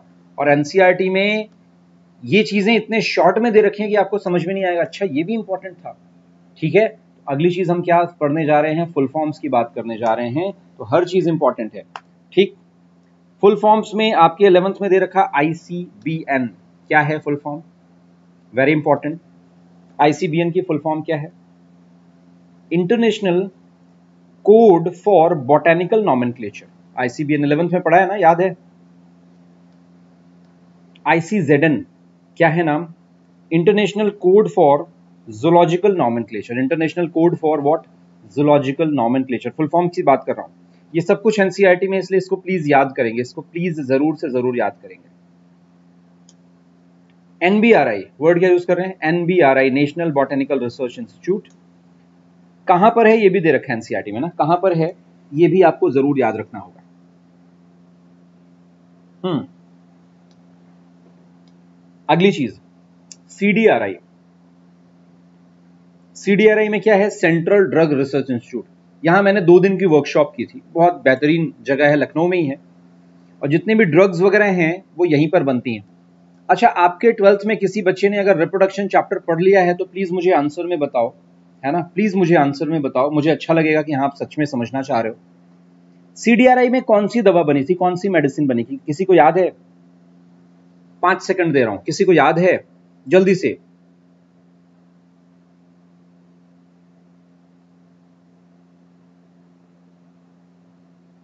याद आया कुछ? सहेली, याद आया? सहेली। तो सहेली क्या है? एक वीकली पिल है अनवांटेड प्रेगनेंसी को प्रिवेंट करने के लिए। तो दैट इज़ कॉल्ड एज सहेली, याद रखेंगे। ठीक है, सहेली। Central Drug Research Institute very important अच्छा आईबीजी एक वर्ड दे रखा है very important IBG Indian Botanical Garden Howrah में है, हावड़ा, कोलकाता। याद रखेंगे ना, हावड़ा, कोलकाता। कोई है क्या यहाँ पर कोलकाता का? कोई बच्चा ऐसा। तो हावड़ा की बात कर रहे हैं। कुछ डिज़ीज़ के नाम शॉर्ट में एनसीआरटी में दिए हुए हैं, जैसे potato spindle tuber disease PSTD याद रखेंगे। PPLO pleuropneumonia like organism smallest organism का नाम क्या है? PPLO very very very important है ना? अगली चीज़, जब भी किसी के आगे ऐसा लिखा हो तो इसका मतलब it is the of substrate क्या बोल रहे हैं इसको? Concentration of substrate very very very important ये वर्ड को याद रखेंगे अच्छा आरआरसी की बात कर रहे हैं। आरआरसी का मतलब रेस्पिरेटरी रिदम सेंटर ये कहाँ पर होते हैं? मेडुला में होते हैं। ये कहाँ पर होते हैं? मेडुला में होते हैं। वेरी इंपॉर्टेंट ना। तो ये चीज़ें आपको याद होनी चाहिए सारे बच्चे।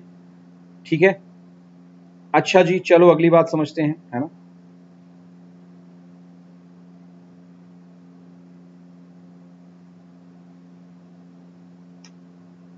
अच्छा। चलो, एक मिनट बस।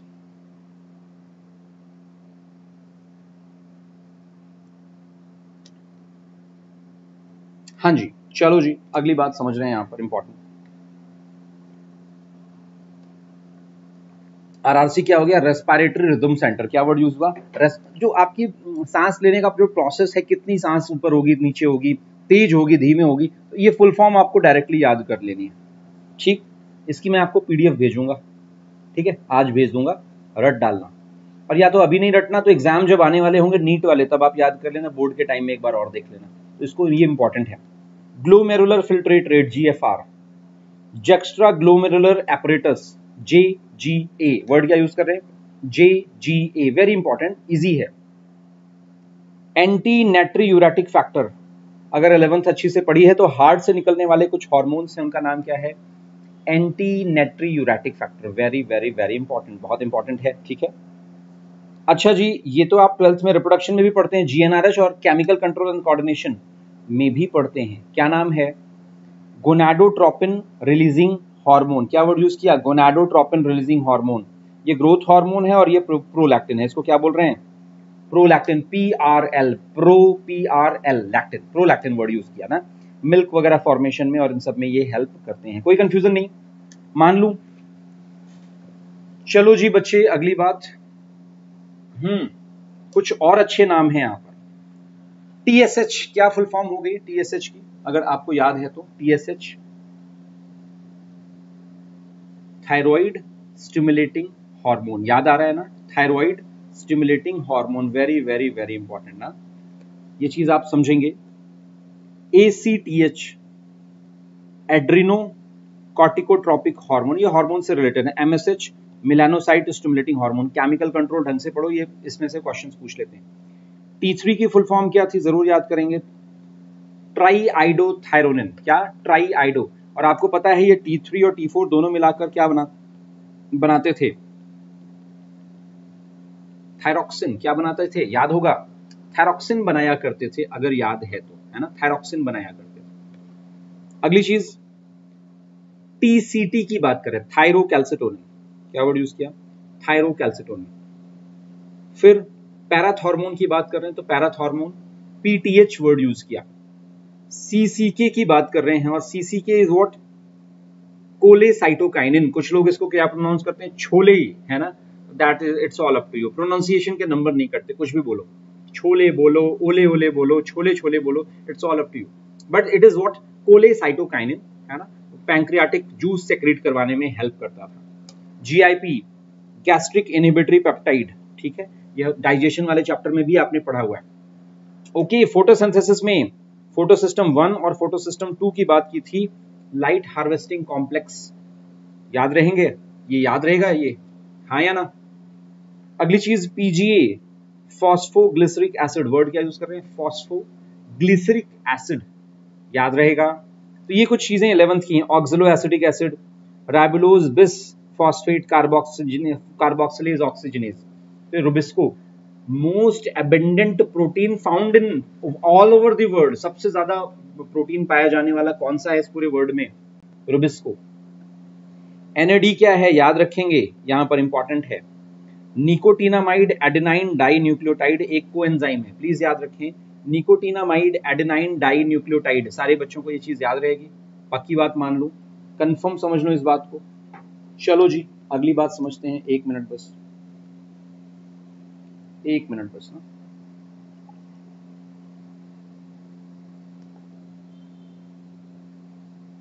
हाँ जी, अगली बात समझेंगे। हाँ। को एंजाइम ए की बात कर रहे हैं। व्हाट इज़ को एंजाइम ए आपको पता है ना, वो जो एसिटाइल को एंजाइम ए और ऐसी चीज़ें हम लोगों ने फोटोसिंथेसिस वगैरह में भी देखी थी रेस्पिरेशन में देखा था स्पेशली ना। को ए का मतलब क्या हुआ? को एंजाइम ए को ए का मतलब क्या हो गया बच्चे? को एंजाइम ए टीसीए भी उसी तरह से इलेवेंथ की ही बात कर रहे हैं। ट्राई कार्बोक्सिलिक एसिटिक एसिड इसी को हम सिट्रिक एसिड भी बोलते थे। सी थ्री साइकिल के लिए हम लोग ना। ईटीसी या ईटीएस इलेक्ट्रॉन ट्रांसपोर्ट चेन या electron transport system electron transport system very important ठीक, अगली बात।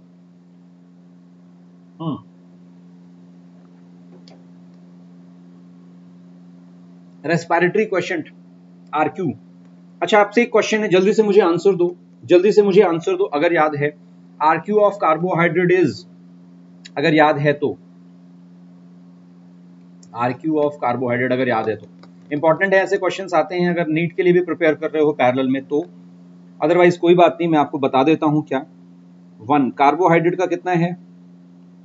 कार्बोहाइड्रेट का आरक्यू कितना है? RQ is the ratio between oxygen and CO two कितना सीओ टू निकला, कितने सीओ टू लगने, कितने ऑक्सीजन लगने पर, कितना CO2 निकला। This is called as what RQ PGR के कुछ नाम है plant growth regulator that may be NAA that is naphthalene acetic acid ये वर्ड याद रखेंगे क्या?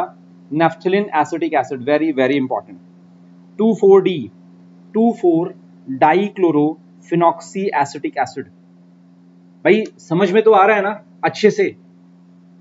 देखो, अगर आप सोचो कि कंप्लीट बायोलॉजी में रोज मज़ा आएगा, कभी आप बोर नहीं होगे तो इट इज़ इम्पॉसिबल क्यों?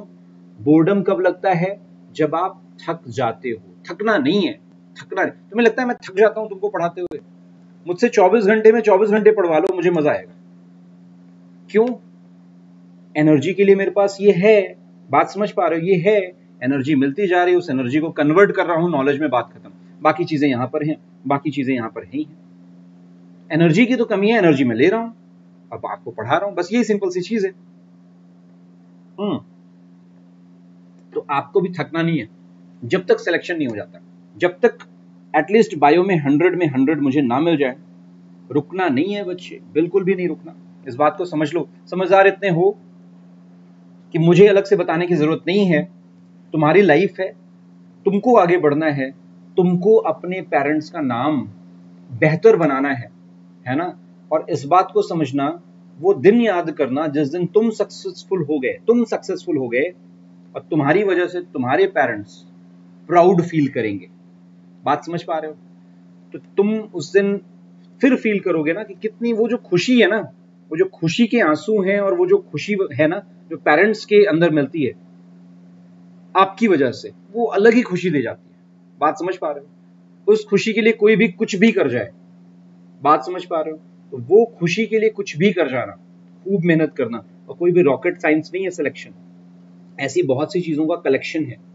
कभी प्रैक्टिस, कभी थियरी, कभी रटना, कभी कंसेप्ट इन सब चीज़ों को कंबाइंड कर दो तो आपका सिलेक्शन निकल कर आता है including biology including chemistry including physics तीनों चीज़ों को आप ऐसे कर सकते हो। तो ये तुम्हारे ऊपर है कि तुम कितनी बेहतरीन तरीके से उसको कर पा रहे हो। Now next gibberellic acid three is the most common acidic, ये जिब्रलिक एसिड, ये आपको ऑलरेडी पढ़ा हुआ है। ये आपके ट्वेल्थ का आ गया ना? याद है? पॉलन मदर सेल ये आपके ट्वेल्थ का आ गया। ट्वेल्थ का ट्वेल्थ का। ये तीनों ट्वेल्थ के हैं। मेगा स्पोर मदर सेल क्या वर्ड यूज़ किया? Megaspore mother cell primary endosperm cell किस किस बच्चे के पास कौन कौन से बच्चे हैं? आई होप सारे बच्चे ही होंगे यहाँ पर। मेरा टेलीग्राम का लिंक है सारे बच्चों के पास। हाँ या ना?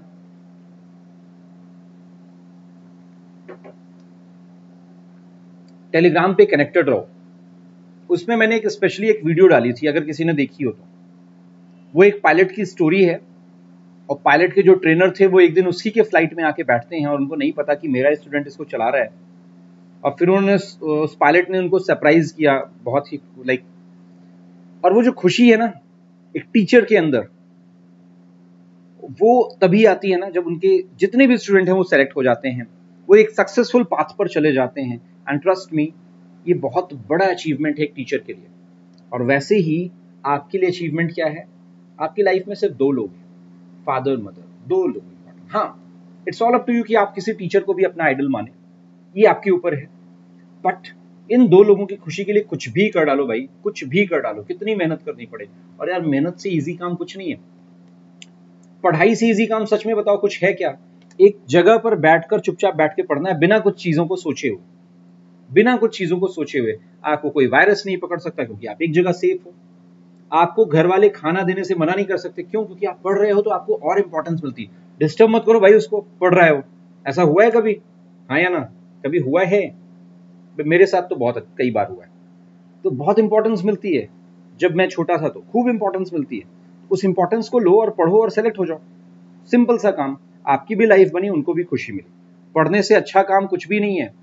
गेम्स खेलने जाते हैं। बेवजह थक गए थक गए, आ गए, चोट लग सकती, कुछ भी। भाई, पढ़ने में किसी को चोट लग सकती आज तक सुना है किसी को कि पढ़ते पढ़ते उसकी तबीयत खराब हो गई और फिर वो दोबारा उठ नहीं पाया? ऐसा कभी सुना है किसी को?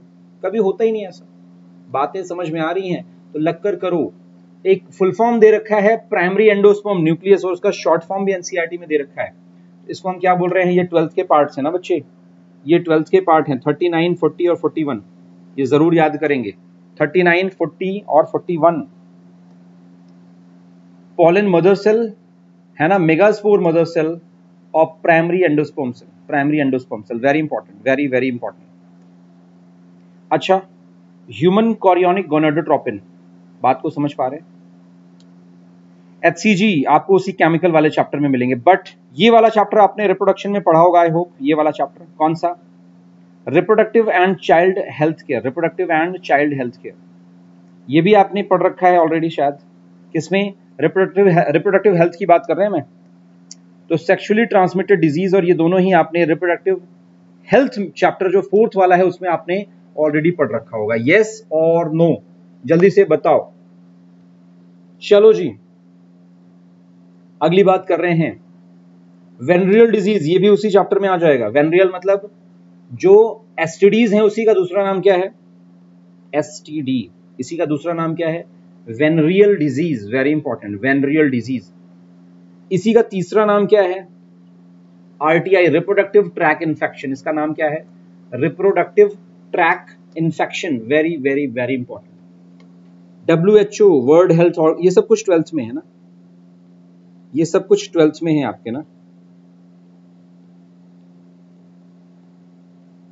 ओके ये पूरा पेज ही ट्वेल्थ डेडिकेटेड है ना? ये पेज ही। ट्वेल्थ डेडिकेटेड है RTI reproductive tract infection very important reproductive tract infection W H O world health organization M M R maternal mortality rate जब बच्चे पैदा करते हुए पुराने टाइम में मदर की डेथ हो जाती थी, उसको किसमें कंसिडर किया जाता था? मैटरनल मोर्टेलिटी रेट पहले ज़्यादा था, अब कम हो गया बात समझ पा रहे हैं? IMR infant mortality rate infant mortality rate बच्चे जो पैदा होते हैं, उस ड्यूरेशन में कितने की डेथ हो जाती है और कितने बच जाते हैं? तो पहले ये ज़्यादा थे, अब कम हो गए। इसको बोलते हैं IMR infant mortality rate infant मतलब छोटा बच्चा। ठीक है? आईयूडी इंट्रा यूटराइन डिवाइसेस आपने कॉपर्टी का नाम सुना है? कॉपर्टी का नाम सुना है सारे बच्चों ने? हाँ या ना? सारे बच्चों ने।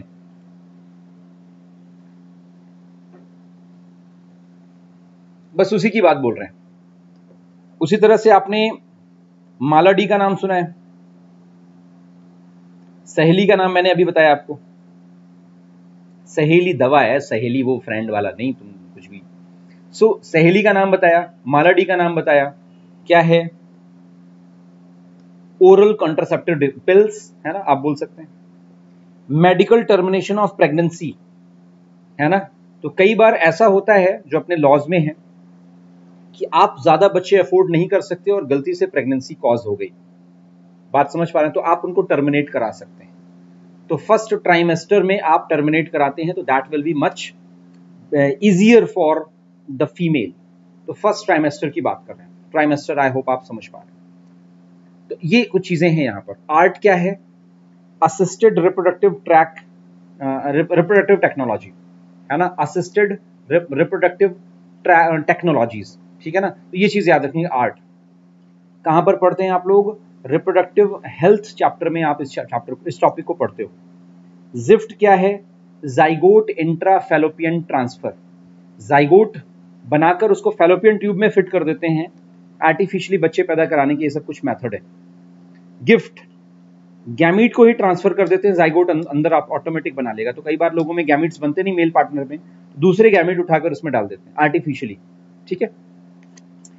इंट्रा यूट्राइन ट्रांसफ़र जो जाइगोट बना उसको यूट्रस में डालते हैं ना कि फेलोपियन ट्यूब में। तो उसको बोलते हैं IUT intra uterine transfer intra uterine insemination uterus में सीमेन को डायरेक्टली डाल देना।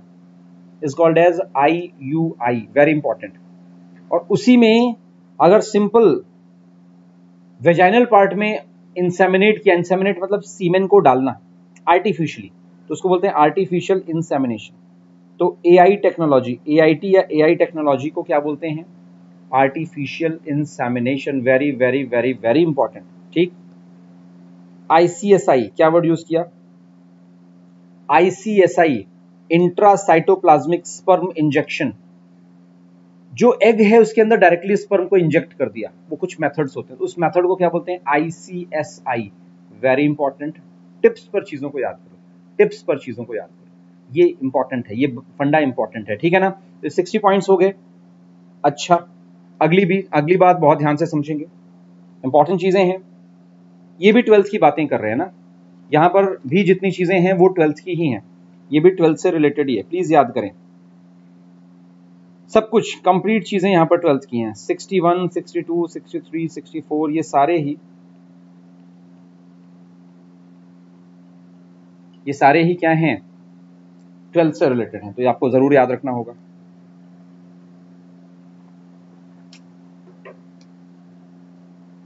ध्यान से समझेंगे।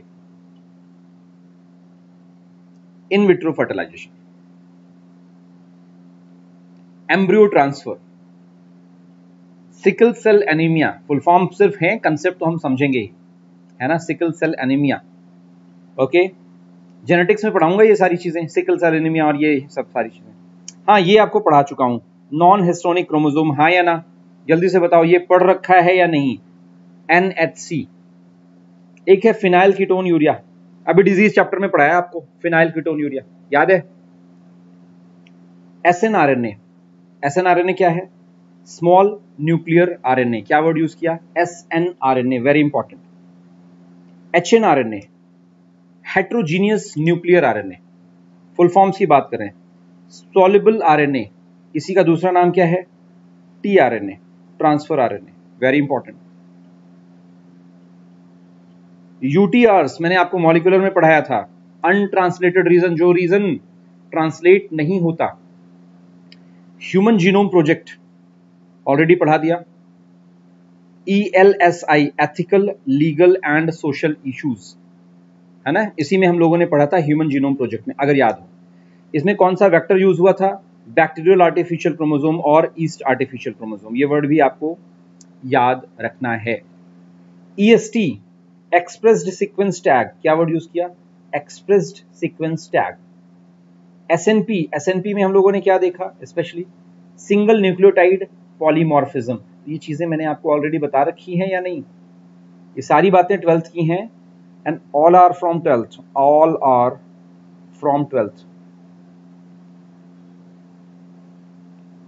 तो आपसे फुल फॉर्म के नाम पर ये सारी चीज़ें बच्चे पूछी जा सकती हैं, जो कि इंपॉर्टेंट है। दोबारा कह रहा हूँ, ये सारी चीज़ें ही इंपॉर्टेंट हैं, इनको हल्के में बिल्कुल ना लें।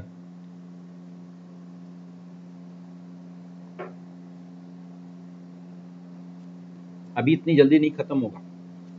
इतना है कंटेंट अपने इलेवन ट्वेल्थ में लेकिन इतना भी नहीं है कि खत्म ही ना हो। आप ये सोचो पूरे इलेवंथ और ट्वेल्थ का कंटेंट अगर मैं दो घंटे या तीन घंटे में खत्म कर सकता हूँ मानकर चले आज दो ही घंटे की क्लास करेंगे।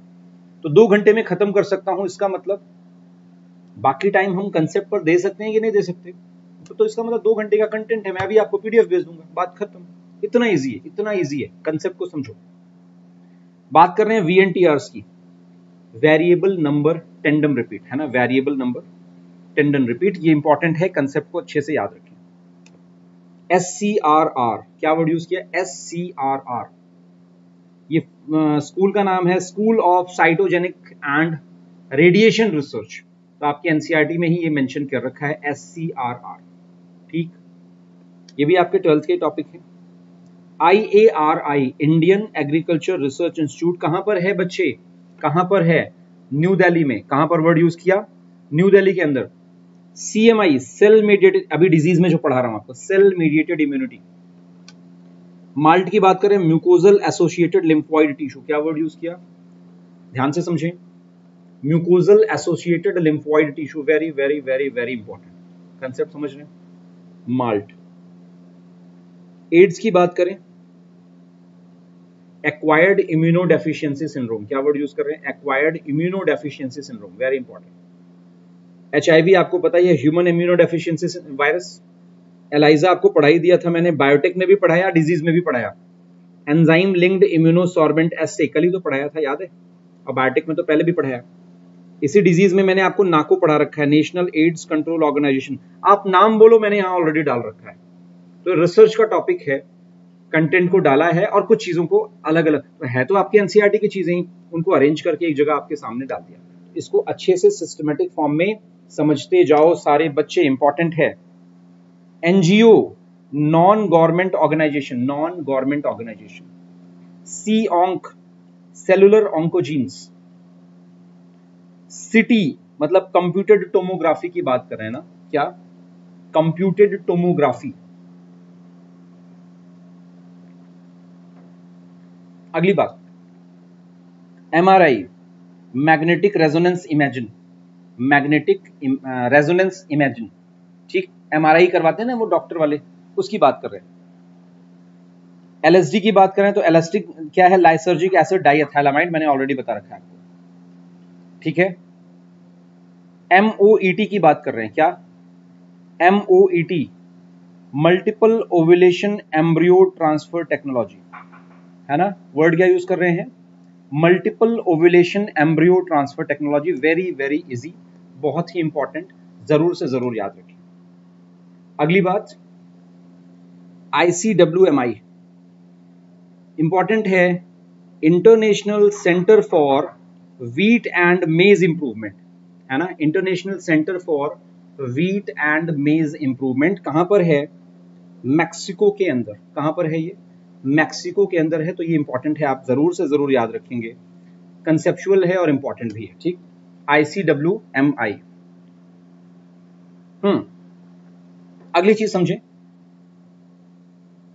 I R R I international rice research institute कहाँ पर है? फिलीपींस में है है ना? वर्ड को समझ पा रहे हैं? कहाँ पर है? फिलीपींस में है, बहुत इंपॉर्टेंट एससीपी की बात करें सिंगल सेल प्रोटीन वर्ड क्या यूज़ कर रहे हैं? सिंगल सेल प्रोटीन सिंपल सी चीज़ आपको स्पेशली याद रखनी है।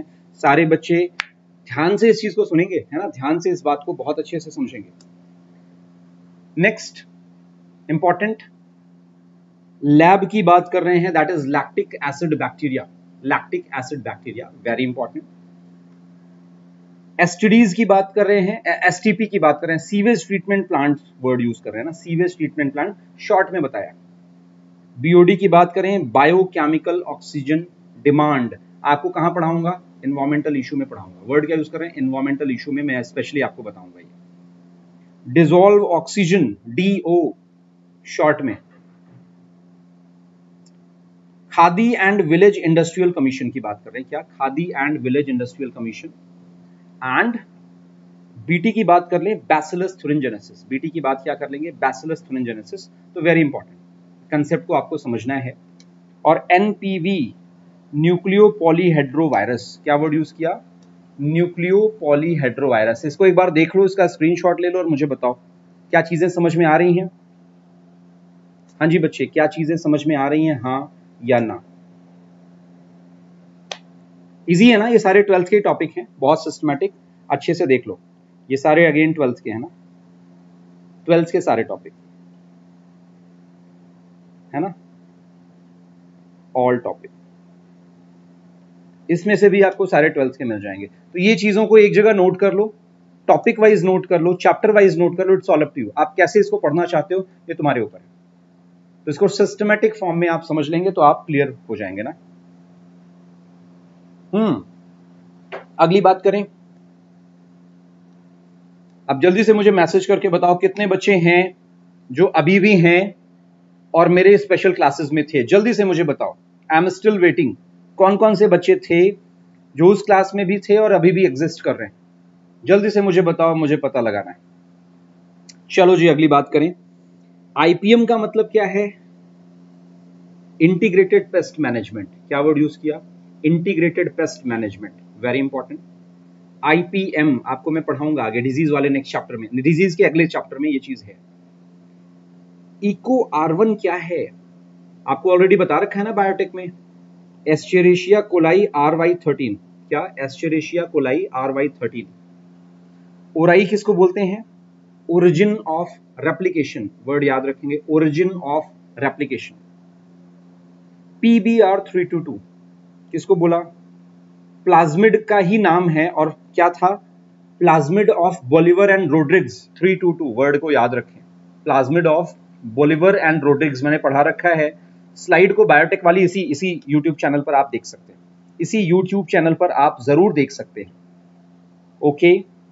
टीआई प्लाज्मिड, ये दो बार शायद आ गया बट स्टिल टीआई प्लाज्मिड का मतलब क्या है? Tumour inducing plasmid. ऐसे plasmid T for tumour I मतलब inducing plasmid that's it Taq polymerase की बात कर रहे हैं और टैक पॉलीमरेज क्या है? थर्मस एक्वेटिकस हमने यहाँ पर ऑलरेडी पीसीआर में देख रखा है Taq polymerase right okay okay अभी बच्चे हमारे पास हैं टैक पॉलीमरेज की बात कर रहे हैं। What is PCR polymerase chain reaction GMO की बात करें तो क्या है जीएमओ जल्दी से बताएँ। जेनेटिकली मॉडिफाइड ऑर्गेनिज्म क्या वर्ड यूज़ किया? Genetically modified organism very important आप ना क्या करना, एक छोटा सा तरीका बता रहा हूँ। इस वीडियो को ऑन करके कान में लगाकर जब भी कभी रिवीजन करना हो, सिर्फ़ सुनना। ठीक है?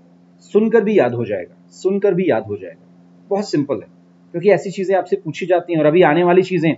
आप गेस करो मैं अगला क्या डिवाइड करने वाला हूँ। एनसीआरटी को किस तरह से क्लासिफाई किया है मैंने? आप सोचो कितनी पॉसिबिलिटीज मैंने कर रखी हैं, सिर्फ़ कि बच्चों तक वो चीज़ पहुँच पाए। तो कहानियाँ ये कि इन चीज़ों को आप तक बस पहुंचाना मेरा काम है। कैसे पहुँच रही है, वो एक अलग बात है। बट आप तक पहुँच रही है, आपका फ़ायदा हो रहा है, बात खत्म। तो इसको सिस्टमेटिक याद कर लेना। एक एक और वर्ड दे रखा है R N A I technology क्या वर्ड यूज़ किया? R N A interference word क्या यूज़ कर रहे हैं? R N A interference very important ADA deficiency की बात करेंगे। एडीए डेफिशिएंसी तो एडीए में क्या हुआ? एडनोसिन डी एमिनेज वर्ड क्या यूज़ कर रहे हैं? Adenosine deaminase very important GEAC genetic engineering approval committee याद है? जो जितनी भी जेनेटिक्स में जो है नई नई डिस्कवरी हो रही है, उसको अप्रूव करेगा कौन पहले? इंडिया की बात करें इंडिया की ऑर्गेनाइजेशन है। Genetic engineering approval committee okay एक और कमिटी है, उसका नाम क्या है? National committee for environmental planning and coordination 1972 में पहली बार ये कमिटी आई थी और आपको याद रखना पड़ेगा। M O E T Ministry of Environment and Forest है ना? M O E T E F है ना? तो ये चीज़ आपको याद रखेंगे। M O E F Ministry of Environment and Forest INSA एक वर्ड है। ये जो लोग पीएचडी वगैरह कर लेते हैं ना, उनको इन सब की डिग्री मिल जाती है, इन सब की सर्टिफिकेशन मिल जाती है, इन सब की अटैचमेंट मिल जाती है क्या? इंडियन नेशनल साइंस अकेडमी के फेलो फेलो ऑफ़ इंसा तो ये बहुत बड़ी बात होती है, जो लोग रिसर्च फ़ील्ड में होते हैं। है ना? यहाँ पर क्या है? एनपीपी है ना? थोड़ा सा नीचे चला गया शायद। एनपीपी एग्जैक्टली क्या है?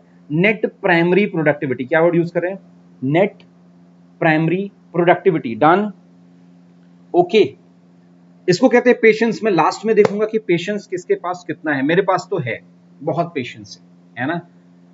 और उस पेशेंस के साथ में ही रिज़ल्ट आते हैं, इस बात को समझना। और वो पेशेंस लास्ट तक लाइक मैं डॉट फाइव फाइव पर आपसे पूछूँगा अगली बार कि कौन से बच्चे हैं, कौन से थक गए बेचारे। बहुत थक गए, बहुत पढ़ लिया आज। नॉट लाइक दैट पेशेंस है तो लास्ट तक पेशेंस रखना होता है। ठीक है? तो एग्जैक्टली फोर थर्टी की बात कर रहे हैं। फाइव फाइव पर मैं आपसे पूछूँगा कि कितने बच्चे हैं। तो पेशेंस के साथ रुकेंगे। और ये सब भी आप दोबारा समझ लो, ये सब कुछ all from twelfth all from twelfth बात याद रखेंगे। इंपॉर्टेंट है। देख रहे हो ना ट्वेल्थ के तो सारे टॉपिक हैं। अगर ढंग से अभी तक पढ़ा है तो। अगली बात। GPP gross primary productivity NPP जैसे क्या था? नेट प्राइमरी प्रोडक्टिविटी वैसे ही ये क्या है? जीपीपी एनसीईआरटी में सोचो, कितने शॉर्ट फॉर्म दे रखे हैं। कहीं से भी क्वेश्चन बन सकते हैं। जीएनपी ग्रॉस नेशनल प्रोडक्ट क्या वर्ड यूज़ किया? Gross national product very important है ना? ज़रूरी है। जीडीपी जैसे इंडिया की जीडीपी कितनी है? ग्रॉस डोमेस्टिक प्रोडक्ट ठीक है? Gross domestic product GFC gross grazing food chain ना है ना? ग्रेजिंग फ़ूड चेन आप लोग इसको इकोलॉजी वाले उसमें पढ़ते हो। Grazing food chain DFC detritus food chain क्या वर्ड यूज़ किया? Detritus food chain IUCN International Union for Conservation of Nature and Natural Resources ज़रूर याद कर लो इंपॉर्टेंट है International Union for Nature and Natural Resources right okay CPCB Central Pollution Control Board अभी ecology पढ़ाऊँगा ना तो आपको समझ में आएगी चीज़ें। सीएनजी की बात कर रहे हैं तो कंप्रेस्ड नेचुरल गैस क्या वर्ड यूज़ किया? Compressed natural gas very important hmm. Part per billion PPB और part per million million billion अच्छा एक बिलियन में कितना होता है अगर याद है तुम्हें तो? एक बिलियन में हमेशा कितने होते हैं? अगर याद है हंड्रेड करोड़ और एक मिलियन में कितने होते हैं? टेन लैक्स और उसमें एक पार्ट तो उसको बोलेंगे क्या? पीपीबी और उस मिलियन में हो गया एक पार्ट तो PPM part per million Friends of Arcata Marsh ये ऑस्ट्रिया की बात हो रही है तो वहाँ पर कुछ लोगों ने ग्रुप बनाया था और पानी वगैरह साफ़ करने का सिस्टम बनाते थे। That is called as Friends of Arcata Marsh very important ज़रूर है याद रखेंगे बिना कंफ्यूजन के। ओके okay, अगली यूनिट मैंने आपको बता दी थी ना? किसको नापने की यूनिट जो आपकी ओजोन की थिकनेस है उसको हम कैसे नापते हैं? डॉप्सन यूनिट डेसिबल साउंड को सुनने के लिए।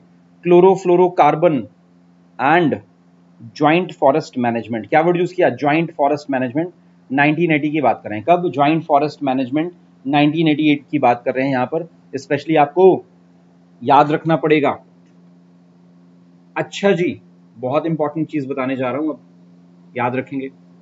एनसीआरटी में किन किन चीज़ों पर डिपेंडेंसी है, अगर ध्यान से समझे। तो algae are classified into three classes किस बेस पर? तो ये जो चीज़ एनसीआरटी में जो डिपेंडेंसी की बात की गई है वहाँ पर बात कर रहे हैं, है ना? तो depending on the pigment and stored food तो किस किस बेस पर पिगमेंट और स्टोर्ड फ़ूड के बेसिस पर इसको क्लासिफाई किया गया? एक बात याद रखेंगे स्टोर्ड फ़ूड एंड पिगमेंट याद रखेंगे? अच्छा किंगडम फंजाई अलग अलग क्लासेस में किस बेस पर क्लासिफाई की गई? तो एक तो मॉर्फोलॉजी है दूसरा मोड ऑफ़ स्पोर फॉर्मेशन है और फ्रूटिंग बॉडी तो यहाँ पर तीन डिपेंडेंसी है। फंजाई को क्लासिफाई एल्गी को किस बेस पे क्लासिफाई किया गया? फंजाई को किस बेस पे क्लासिफाई किया गया? ऐसे क्वेश्चन पूछ लिए जाते हैं। सिंपल एपिथीलियम किस बेस पर डिवाइड किया गया है? स्क्वामस क्यूबॉर्डल और कॉल्यूमिनर में। On the basis of structural modification on the basis of what structural modification very very very important बातें समझ में आ रही हैं on the basis of what structural modification pollination तीन टाइप में डिवाइडेड है. कौन से? ऑटोगैमी गेटोनोगैमी और जीनोगैमी यहाँ पर किस बेस पर? तो यहाँ पर डिपेंडेंसी किस पर है? बेस में बोल रहा हूँ ना ऑन द बेसिस ऑफ़ तो डिपेंडेंसी और बेस्ड ऑन कोई भी चीज़ जो डिवीज़न है क्लासिफिकेशन है, वो किस बेसिस पर डिवाइड की गई है? तो आपको लिखना पड़ेगा क्या?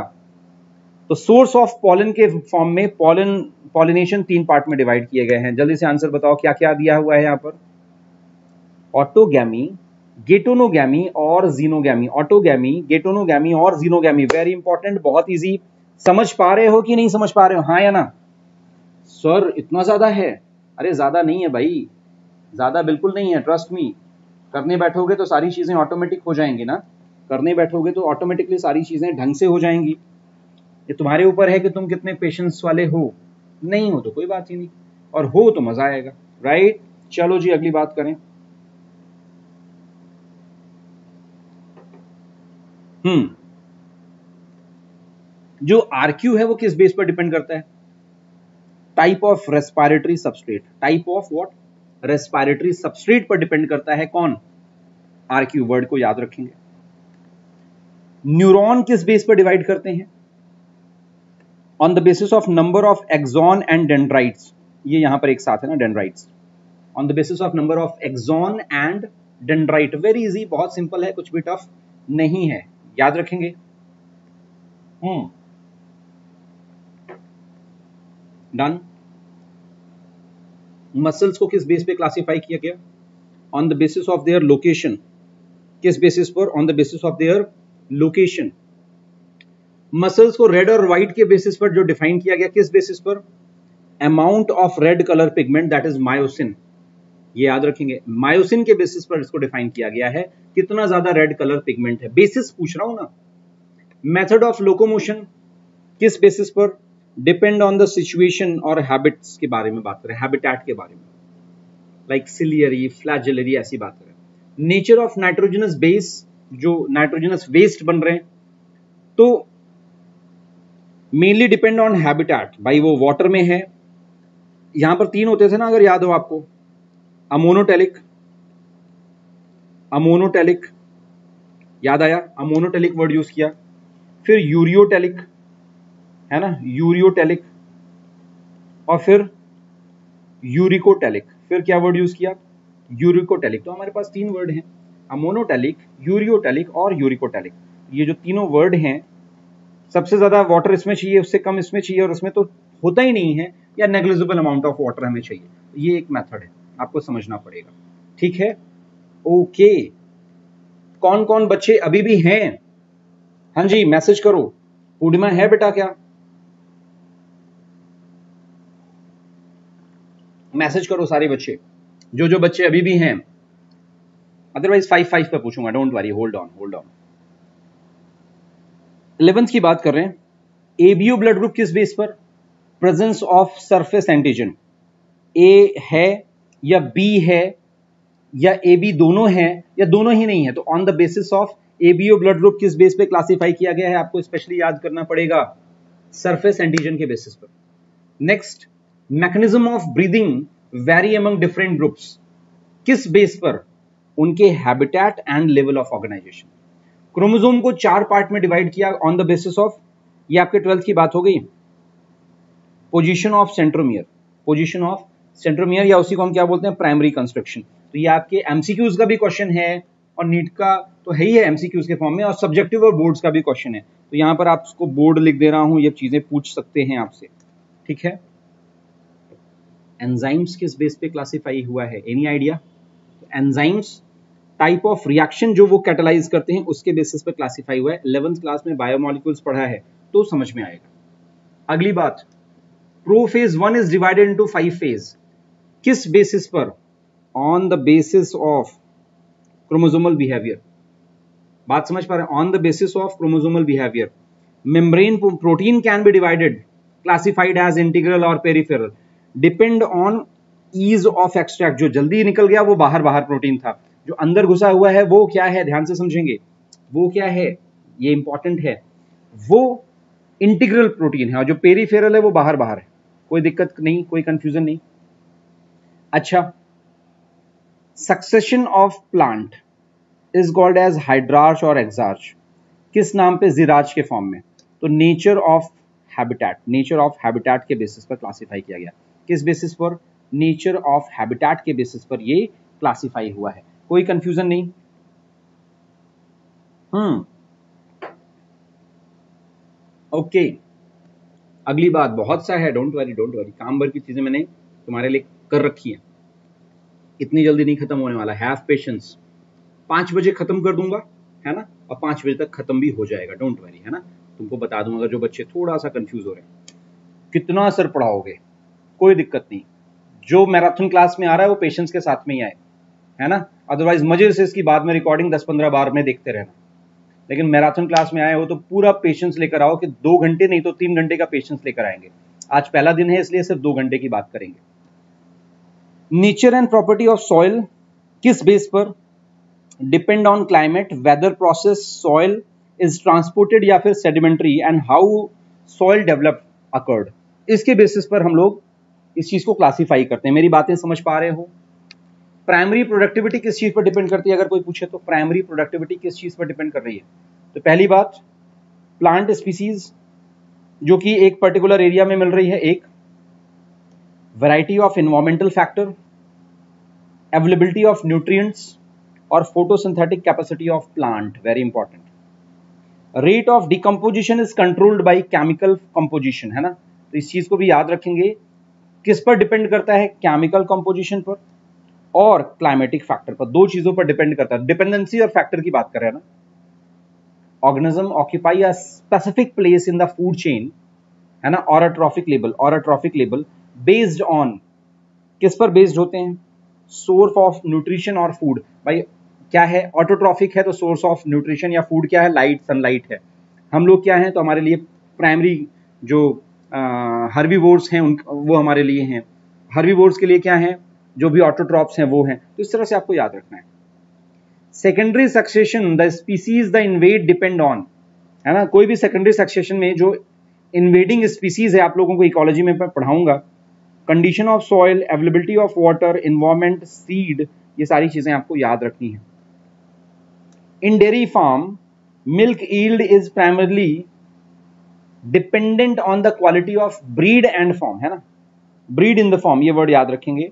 और एल्कोहलिक ड्रिंक जो है, हम ऑप्टेन करते हैं, किस चीज़ पर डिपेंड है?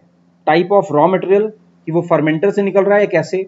और टाइप ऑफ़ प्रोसेसिंग वो एक मिनट है ना? हाँ जी टाइप ऑफ़ प्रोसेसिंग की बात करें तो वो कैसे मिल रहा है हमको?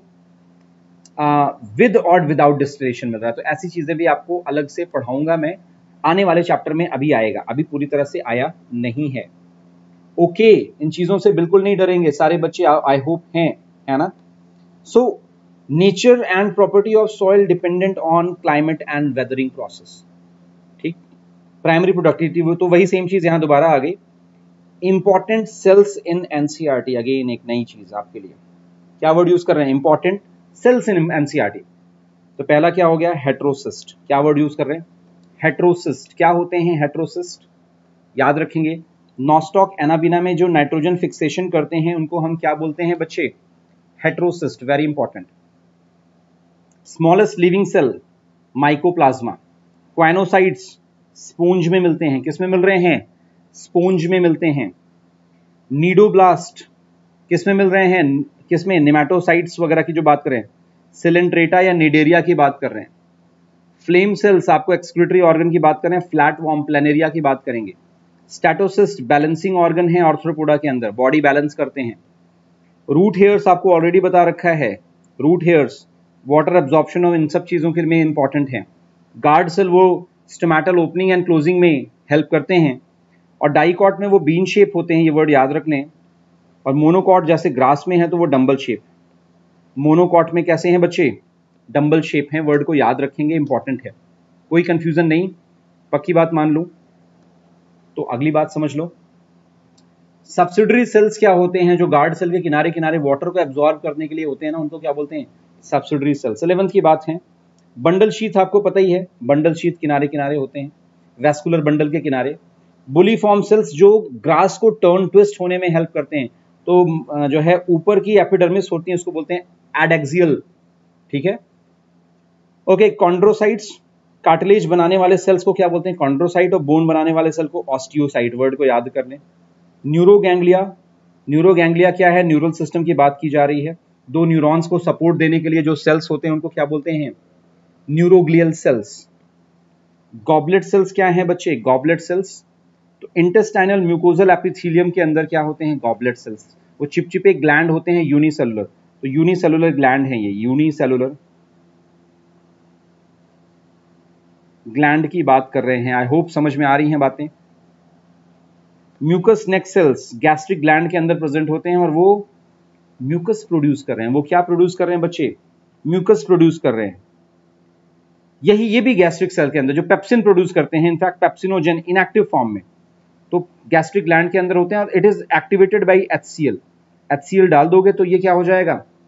एक्टिव हो जाएगा। बहुत सिंपल सिंपल सी बातें। डन अगली चीज़ पेराइटल या फिर ऑक्जेंटिक सेल्स क्या वर्ड यूज़ किया? पेराइटल या फिर ऑक्जेंटिक सेल्स ये स्पेशली एचसीएल और इंट्रेंसिक फैक्टर प्रोड्यूस करते हैं। इंट्रेंसिक फैक्टर क्या होते हैं? ये विटामिन बी ट्वेल्व को एब्जॉर्ब करने में हेल्प करते हैं ना। कैसल इंट्रेंसिक फैक्टर पूरा नाम है। लीवर के अंदर हेपाटिक सेल्स मिलते हैं, उनको हिपैटोसाइट्स बोलते हैं। सेल्स की बात कर रहा हूँ अब सिर्फ़ सेल्स को क्लासिफाई कर रखा है, पूरे जो भी इलेवंथ और ट्वेल्थ की बातें हम कर रहे हैं, ठीक? अगली बात जेजी सेल्स जेजी सेल्स क्या है?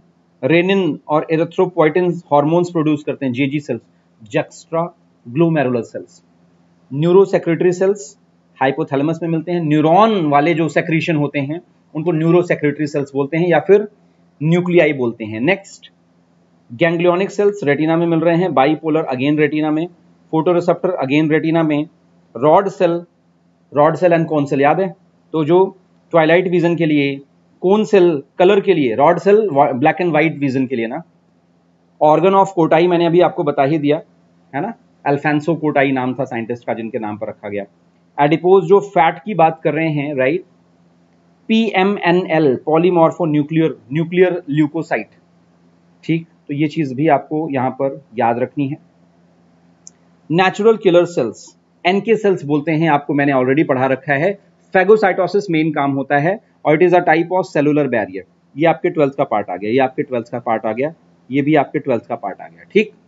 मैक्रोफास्ट सेल्स क्या होते हैं, यहाँ पर ऑलरेडी दे रखा है। Present in tissue specially areolar tissue और फैगोसाइटोसिस करते हैं, कोई भी अगर माइक्रोब्स आ जाए ना हमारी बॉडी में तो उन माइक्रोब्स को किल करने का ये काम करते हैं। तो ये भी अगेन सेलुलर बैरियर करते हैं। थोड़ा सा शायद आपको छोटा दिख रहा होगा वहाँ पर। ओके अगली बात बहुत इंपॉर्टेंट ध्यान से समझेंगे। इनर सेल मास की बात कर रहे हैं। किसकी? इनर सेल मास की बात कर रहे हैं। इनर सेल मास जब आप, नहीं, वो, ये सपोज़ वो है क्या? यूट्रस की बात कर रहे हैं।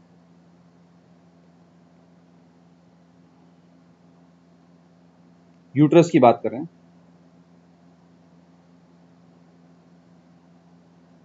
ये ओवरी है। तो यहाँ पर जो इंप्लांट होता है this area is known as fundus इसके अंदर जो सेल्स होते हैं, वो जाकर उसके साथ में अटैच हो जाते हैं। That area is known as जो जाइगोट है, उसको बोलते हैं इनर सेल मास याद आया? बस यही चीज़ सेम चीज़ याद रखनी है epithelial cell of Bowman's capsule called as podocyte I hope आपको कहानियाँ मेरी समझ में आ रही हैं। अभी तक थोड़ी बहुत अगर थोड़ी बहुत चीज़ें समझ में आ रही हैं तो मैं क्विक फॉर्म में एक चीज़ आपको दिखाना चाहता हूँ ना। क्विक फॉर्म में एक चीज़ यहाँ पर दिखाना चाहता हूँ आपको। वेट है ना?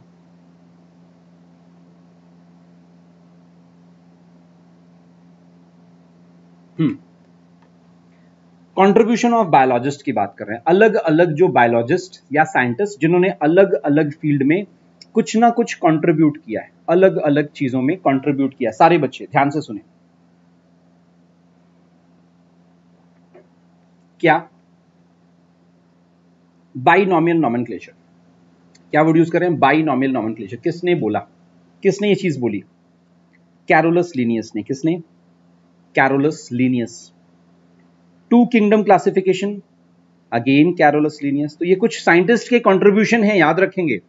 सिस्टेमा नेचुरी ये जो बुक लिखी अगेन किसने लिखी? कैरोलस लीनियस ने.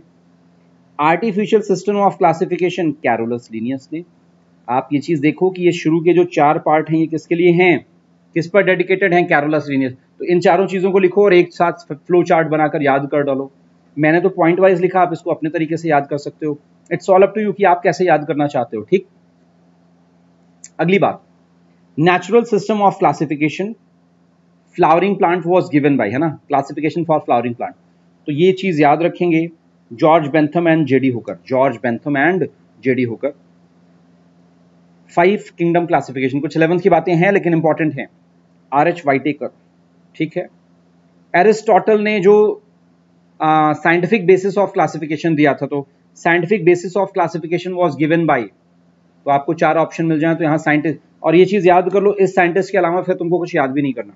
इन इन साइंटिस्ट के अलावा भी तुमको कुछ फिर फर्दर याद नहीं करना, ठीक है? ज़रूरी है इंपॉर्टेंट है, इसलिए ढंग से रटेंगे उसको। अगली चीज़ biological classification of plant and animal was first propose by first propose by Aristotle word याद रखेंगे क्या? Aristotle causal organism of mosaic disease recognise by ये साइंटिस्ट का नाम है Ivanowsky D J Ivanowsky very very very important क्या नाम है? डी जे इवोनॉस्की अच्छा अगली चीज़ समझते हैं यहाँ पर. इंपॉर्टेंट ध्यान से समझें. कंटाजियम वाइवम फ्लूडियम ये टर्म किसने बोला? कंटाजियम वाइवम फ्लूडियम ये टर्म किसने बोला? ध्यान से। कंटाजियम वाइवम फ्लूडियम तो बेजरनिक ये साइंटिस्ट थे। वायरस को पहली बार क्रिस्टलाइज किसने किया? स्टैनले ने। और टी ओ डैनियर ये साइंटिस्ट है जिन्होंने वायरॉइड पहली बार डिस्कवर किया। वायरस में जब वो जो ऊपर की जो लेयर है प्रोटीन की, उसको हटा दो तो उसको हम क्या बोलते हैं? वायरॉइड अगली चीज़। Very important anatomy of seed plant published by तो कैथरीन का नाम आपको याद रखना है, मैंने वहाँ कैथरीन पढ़ा रखा है ना अभी आपको कि किसने कब पीएचडी की थी, किसने क्या क्या किया। तो कैथरीन वर्ड आया था तो इन्होंने एनाटॉमी ऑफ़ सीड प्लांट ये बुक पब्लिश की थी। करली टॉप वायरस है ना? Spread through plant via phloem tissue ये पहली बार किसने बताया था? ये भी पहली बार कैथरीन ने ही बताया था। आप पढ़ोगे तो आपको समझ में आएगा। Founder of Madras school of conformational analysis of biopolymers कौन है? रामचंद्रन, जो रामचंद्रन प्लॉट की बात मैंने आपको बताई थी। Triple helical model of collagen दोबारा triple helical model of what collagen की बात कर रहे हैं। तो जी एन रामचंद्रन, ये भी याद रख लें। रामचंद्रन वॉज़ इन्फ्लुएंस्ड बाई किस साइंटिस्ट के काम को उन्होंने देखा? फिर कहा अच्छा ये तो बहुत अच्छी बात है। ऐसा तो मैं भी और अच्छे से कर सकता हूँ। उनसे इन्फ्लुएंस्ड हुए थे। क्या नाम था? लीनियस पॉलिंग क्या नाम था? लीनियस लाइनस पॉलिंग जो भी आप याद करें। डार्विन वॉज़ इन्फ्लुएंस्ड बाई मैंने आपको बताया था ना माल्थस की बात करें तो डार्विन किससे इन्फ्लुएंस हुए थे? माल्थस से। पी माहेश्वरी किससे इन्फ्लुएंस हुए थे? तो ये साइंटिस्ट का नाम है डॉक्टर डब्ल्यू ड्यूडगॉन है ना? ये नाम आपको याद रखना है। पी माहेश्वरी ने अपनी सारी रिसर्च पहले इनको पढ़ी, फिर अच्छी चीज़ों को समझ में आया। अच्छा प्रोटीन का जो हेलिक्स है और शीट स्ट्रक्चर है वो पहली बार किसने पब्लिश किया था? लाइनस पॉलिन ने। पहली बार किसने पब्लिश किया? Linus Pauling okay Anton von Leeuwenhoek first saw and describe life cell first saw and describe life cell and cell theory was given by Schleiden and Schwann मैंने आपको already बता रखा है। Cell was modified by cell theory was modified by किसने इसको modify किया? रडॉफ विरचाव, है ना? विरचाव ने ही वो बात की थी ना? ओमिनिस सेलुलाइज सेलुली याद है?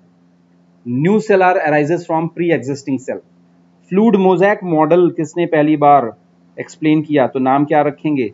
सिंगर एंड निकोलसन की बात करेंगे। सिंगर एंड निकोलसन की बात आपको याद रखनी पड़ेगी। कोई कंफ्यूजन नहीं।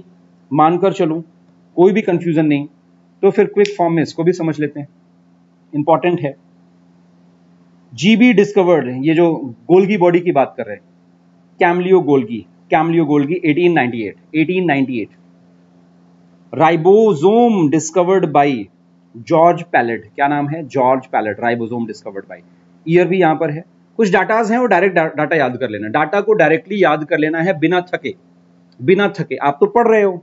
मैं तो बोल रहा हूँ ना, लेकिन मैं सिर्फ़ पढ़ा रहा हूँ इस एनर्जी के साथ में कि वो हर बच्चे को यूँ चीज़ें याद हो जाएँ, यूँ। एक दिन में नहीं याद होगा, ये भी पक्की बात है। दो दिन में भी नहीं याद होगा, और सात दिन में याद भी हो जाएगा तो फिर भूल जाओगे। तो याद करके बीच बीच में रिवाइज करते रहना और लास्ट में दोबारा पढ़ लेना। एक या दो बार बीच में याद कर लेना, अच्छे से, और फिर उसको रख देना और बीच बीच में रिवाइज करते रहना। बस यही मेथड है सिंपल सा मेथड भूलना ह्यूमन के लिए नॉर्मल है। कोई अगर भूल जाता है तो बहुत नॉर्मल चीज़ है, लेकिन टाइम पर भूलना गड़बड़ हो जाता है। उसको बीच बीच में रिवाइज करते रहना।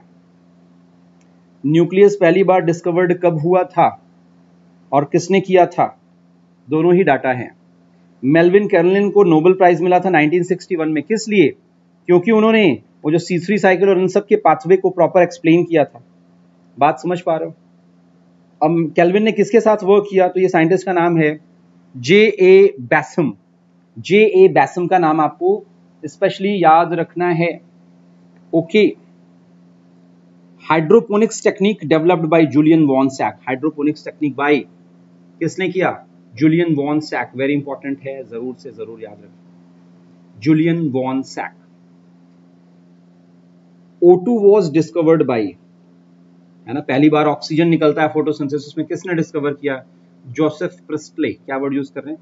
Joseph Priestley very important hmm Priestley revealed the essential role of air in growth of green plants तो ये भी आपको याद रखना है। ये तीन जो है नाम एक ही है जैन इंजन हाउस इन्होंने क्या किया? जोसेफ प्रिस्टले की तरह ही काम किया, पहला काम। इन्होंने बताया कि सनलाइट एक एसेंशियल चीज़ है प्लांट के प्रोसेस के लिए। तीसरी बात, आपको याद रखेंगे ओनली ग्रीन प्लांट्स ही रिलीज़ करते हैं ऑक्सीजन ये भी किसने बताया? जोसेफ प्रिस्ले ने। किसने बताया? जोसेफ प्रिस्टले ने बहुत बहुत बहुत इंपॉर्टेंट है राइट तो जो भी बच्चे यहाँ पर हैं, इस चीज़ को अच्छे से समझ पा रहे हैं, ये एक बहुत अच्छी बात है। लगकर समझो, अच्छे से समझो। अगली बात समझते हैं। Julian von Sachs provide evidence for production of glucose glucose के बारे में भी इन्होंने बताया कि प्लांट ग्रोथ में कौन इंपॉर्टेंट है। ग्लूकोज स्क्रीनशॉट भी लेते रहना, आपके लिए काम आएगा। सैक्स ने ही बताया कि ग्रीन प्लांट जो है वो उनके स्पेशल बॉडी क्लोरोप्लास्ट में मिलते हैं। ठीक? सैक्स ने ही बताया कि ग्रीन प्लांट्स जो हैं, वो ग्लूकोज स्टोर होते हैं स्टार्च के फॉर्म में। ये सैक्स ने ही बताया। और action spectrum like photo system one photo system two ये दो चीज़ें हैं ना, ये पहली बार इंगल मान ने बताए। इंगल मान ने बताए। वॉन नील ने पहली बार डिमोन्स्ट्रेट किया कि ये जो फ़ोटो सिस्टम है ना light harvesting system it is it is light dependent है ना? याद रखेंगे। वॉन नील ने ही बताया क्या? कि ऑक्सीजन जो इवॉल्व हो रहा है ग्रीन प्लांट से, ध्यान से समझें, वो कहाँ से आता है? H2O से आता है। कैल्विन क्या यूज़ कर रहे थे? ध्यान से समझें। कैल्विन ने क्या यूज़ किया? Radio active C four material ताकि वो अच्छे से सी थ्री साइकिल को डिस्कवर कर सकें। कि सी थ्री साइकिल काम कैसे करती है? तो रेडियो एक्टिव कार्बन फोर्टीन का यूज़ किया उन्होंने। बात तो मेरी समझ पा रहे हो ना सारे बच्चे? हाँ या ना? सिस्टमेटिक फॉर्म में हाँ या ना? हाँ जी, चीज़ें समझ में आ रही हैं बच्चे? यस और no I am still waiting जल्दी से मुझे मैसेज करो। क्या ये चीज़ें आपके लिए बेनिफिशियल हैं? बिल्कुल हैं, ध्यान से समझें। क्यों ये छोटी छोटी चीज़ें आप जब पढ़ोगे ना हाँ ये ज़रूर मैं कर सकता हूँ कि इसको चैप्टर वाइज डिवाइड कर दूँ। जैसे ही वो चैप्टर पढ़ना शुरू करो, उस चैप्टर वाइज चीज़ों को रट डालो। ऐसा आप कर सकते हो। ठीक है? सी थ्री साइकिल किसने किसने मतलब किस पर, किसने रिसर्च की? कैलविन एंड बेंसन ने कैलविन एंड बेंसन ने। और सी फोर साइकिल की जब मैं बात कर रहा हूँ तो हैच एंड स्लैक साइकिल की बात करें। हैच एंड स्लैक साइकिल की बात करें, ठीक? तो C four pathway was discovered by Hatch and Slack cycle की बात कोई कंफ्यूजन अभी तक? हाँ या ना? ओके कुछ लास्ट पेज की बात कर लेते हैं। लास्ट पेज की बात कर लेते हैं। आई होप हम बिल्कुल टाइम से हैं, जैसा मैंने आपसे बोला था। कितने टाइम पर हम लोग एग्जैक्टली लाइक पाँच बज, बजने वाले हैं लाइक like कुछ सेकंड्स बचे हैं पाँच बजने में। तो हम टाइम से इसको कंप्लीट कर रहे हैं। और मैं लास्ट में पूछूँगा और लास्ट में मुझे मैसेज करना। लॉ ऑफ़ लिमिटिंग फैक्टर किसने पहली बार एक्सप्लेन किया? ब्लैकमैन ने। है ना? Scheme of glycolysis was given by E M P that's it is called as E M P pathway glycolysis को ही हम क्या बोलते हैं? ईएमपी पाथवे साथ साथ में discovery of PGRs discovery of PGRs किसने किया? चार्ल्स डार्विन और साथ साथ में फ्रांसिस डार्विन उनके सन थे, उनके बेटे थे। तो ये चीज़ें भी आपको याद होनी चाहिए। पैरेलल में चार्ल्स डार्विन और फ्रांसिस डार्विन ने ऑब्ज़र्व किया कि इस पे? कैनरी ग्रास पर वर्क किया। और फ़ोटो पीरियोडिज्म को पहली बार कि जो प्लांट हैं वो लाइट की तरफ़ बेंड होते हैं due to presence of some growth hormones ये पहली बार बताया है ना? और फाइनली वेंट ने उस आ, जो है उस टिप से टिप ऑफ़ कॉलियोटाइप कॉलियोटाइल से जो टिप है वहाँ से उन्होंने ऑक्सीजन को आइसोलेट भी किया। मेरी बात समझ पा रहे हैं? मेरे आज के लेक्चर का मेन पर्पज क्या था? कोई मुझे बताएगा इनमें से? मेन पर्पज क्या था? मेन पर्पज ये कि वो सारी चीज़ें कवर कर पाऊँ हाँ जी, कुछ पेजेस और हैं लगभग, कितने? ज़्यादा नहीं, छह या सात पेजेस और हैं। क्योंकि मैं चाह रहा हूँ कि आप उनको एक बार बैठकर रटो, अच्छे से पढ़ो। तो मैं उस चीज़ों को कहाँ पर भेज दूँगा? अपने टेलीग्राम ग्रुप पर। तो अभी मैं थोड़ी देर में टेलीग्राम ग्रुप आपको बताने वाला हूँ। उस टेलीग्राम ग्रुप पर जाएँगे और उसको डायरेक्टली डाउनलोड करेंगे। प्रिंट आउट करना है तो प्रिंट आउट कर लेंगे, या फिर डायरेक्टली उसको क्या करेंगे? रिवाइज कर लेंगे मेमोराइज कर लेंगे, एक। और उससे फ़ायदा क्या मिलेगा आपको? फ़ायदा क्या मिलेगा? फ़ायदा ये मिलेगा बच्चा कि आप बहुत सिस्टमेटिक तरीके से अपनी आगे की चीज़ों को, जब भी रटने वाली बात आए तो सिर्फ़ उसको रट डालो, बाकी ज़रूरत ही नहीं है। बाकी ज़रूरत ही नहीं कुछ रटने की। सिर्फ़ कंसेप्ट रह गया। फिर सिर्फ़ क्या रह गया? कंसेप्ट रह गया। और यही मेरा मेन पर्पज भी है कि आप रटने में दिमाग ज़्यादा ना लगाएँ। रटने अलग से रट लेंगे। आपको मेन काम क्या करना है? आपको करना ये है, ध्यान से, कि जब पढ़ने बैठे तो सिर्फ़ कंसेप्ट करें और उससे रिलेटेड क्वेश्चंस करें। कंसेप्ट करें और उससे रिलेटेड खूब क्वेश्चन करें, यही अपना मेन पर्पज रहेगा अभी भी और आगे भी। तो हर वो बच्चा जो यहाँ पर मेरे साथ पढ़ रहा है, इस तरीके के साथ में बैठे सिस्टम के साथ में बैठे कि जब आपने पढ़ाई कर ली तो अब क्या करना है हमें? जैसे ही पढ़ाई कर ली, हमें क्या करना है? हमें रटने वाली चीज़ों को अलग से रट लेना है। और प्रैक्टिस और रिवीजन डेली चलती रहनी चाहिए। ठीक? तो इसकी पीडीएफ को डाउनलोड कर लेंगे। फाइनल मैं क्या अगेन वही सेम ट्वेल्थ क्लास को बहुत अच्छा करना है। So let's crack twelfth class exam है ना? Twelfth CBSE exam with me only at Unacademy तो ये लेक्चर कैसा लगा? कितना समझ में आया?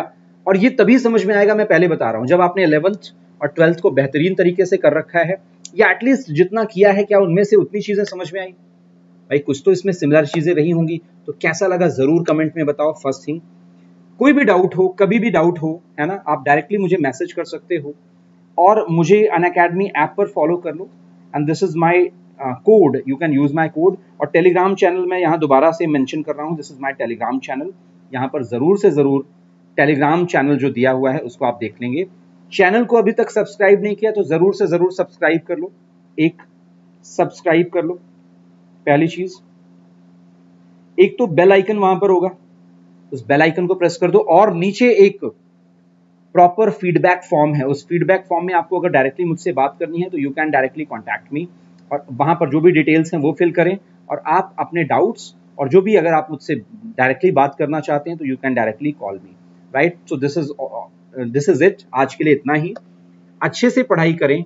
अगली जो क्लास होगी हम लोगों की सिक्स थर्टी पर आज, उसमें हम कुछ और बातें करेंगे। तो मिलते हैं सेम सिक्स थर्टी वाली क्लास में। ठीक है बेटा? तो लगकर पढ़ाई करो, खूब मेहनत से पढ़ाई करो, क्योंकि अभी जितने भी बच्चे यहाँ पर हैं, उन बच्चों से स्पेशली ये चीज़ बताना चाह रहा हूँ। पेशेंस सारा गेम है। पेशेंस का ही सारा गेम है। मेहनत से पढ़ेंगे ना तो पॉसिबिलिटी ऑटोमेटिकली बढ़ जाती है। तो गुड लक बहुत अच्छे से पढ़ो। और मिलते हैं अभी, डेढ़ घंटे बाद सिक्स थर्टी पर सेम चैनल पर। सिक्स थर्टी पर सेम चैनल पर। बाय है ना? Good luck bye bye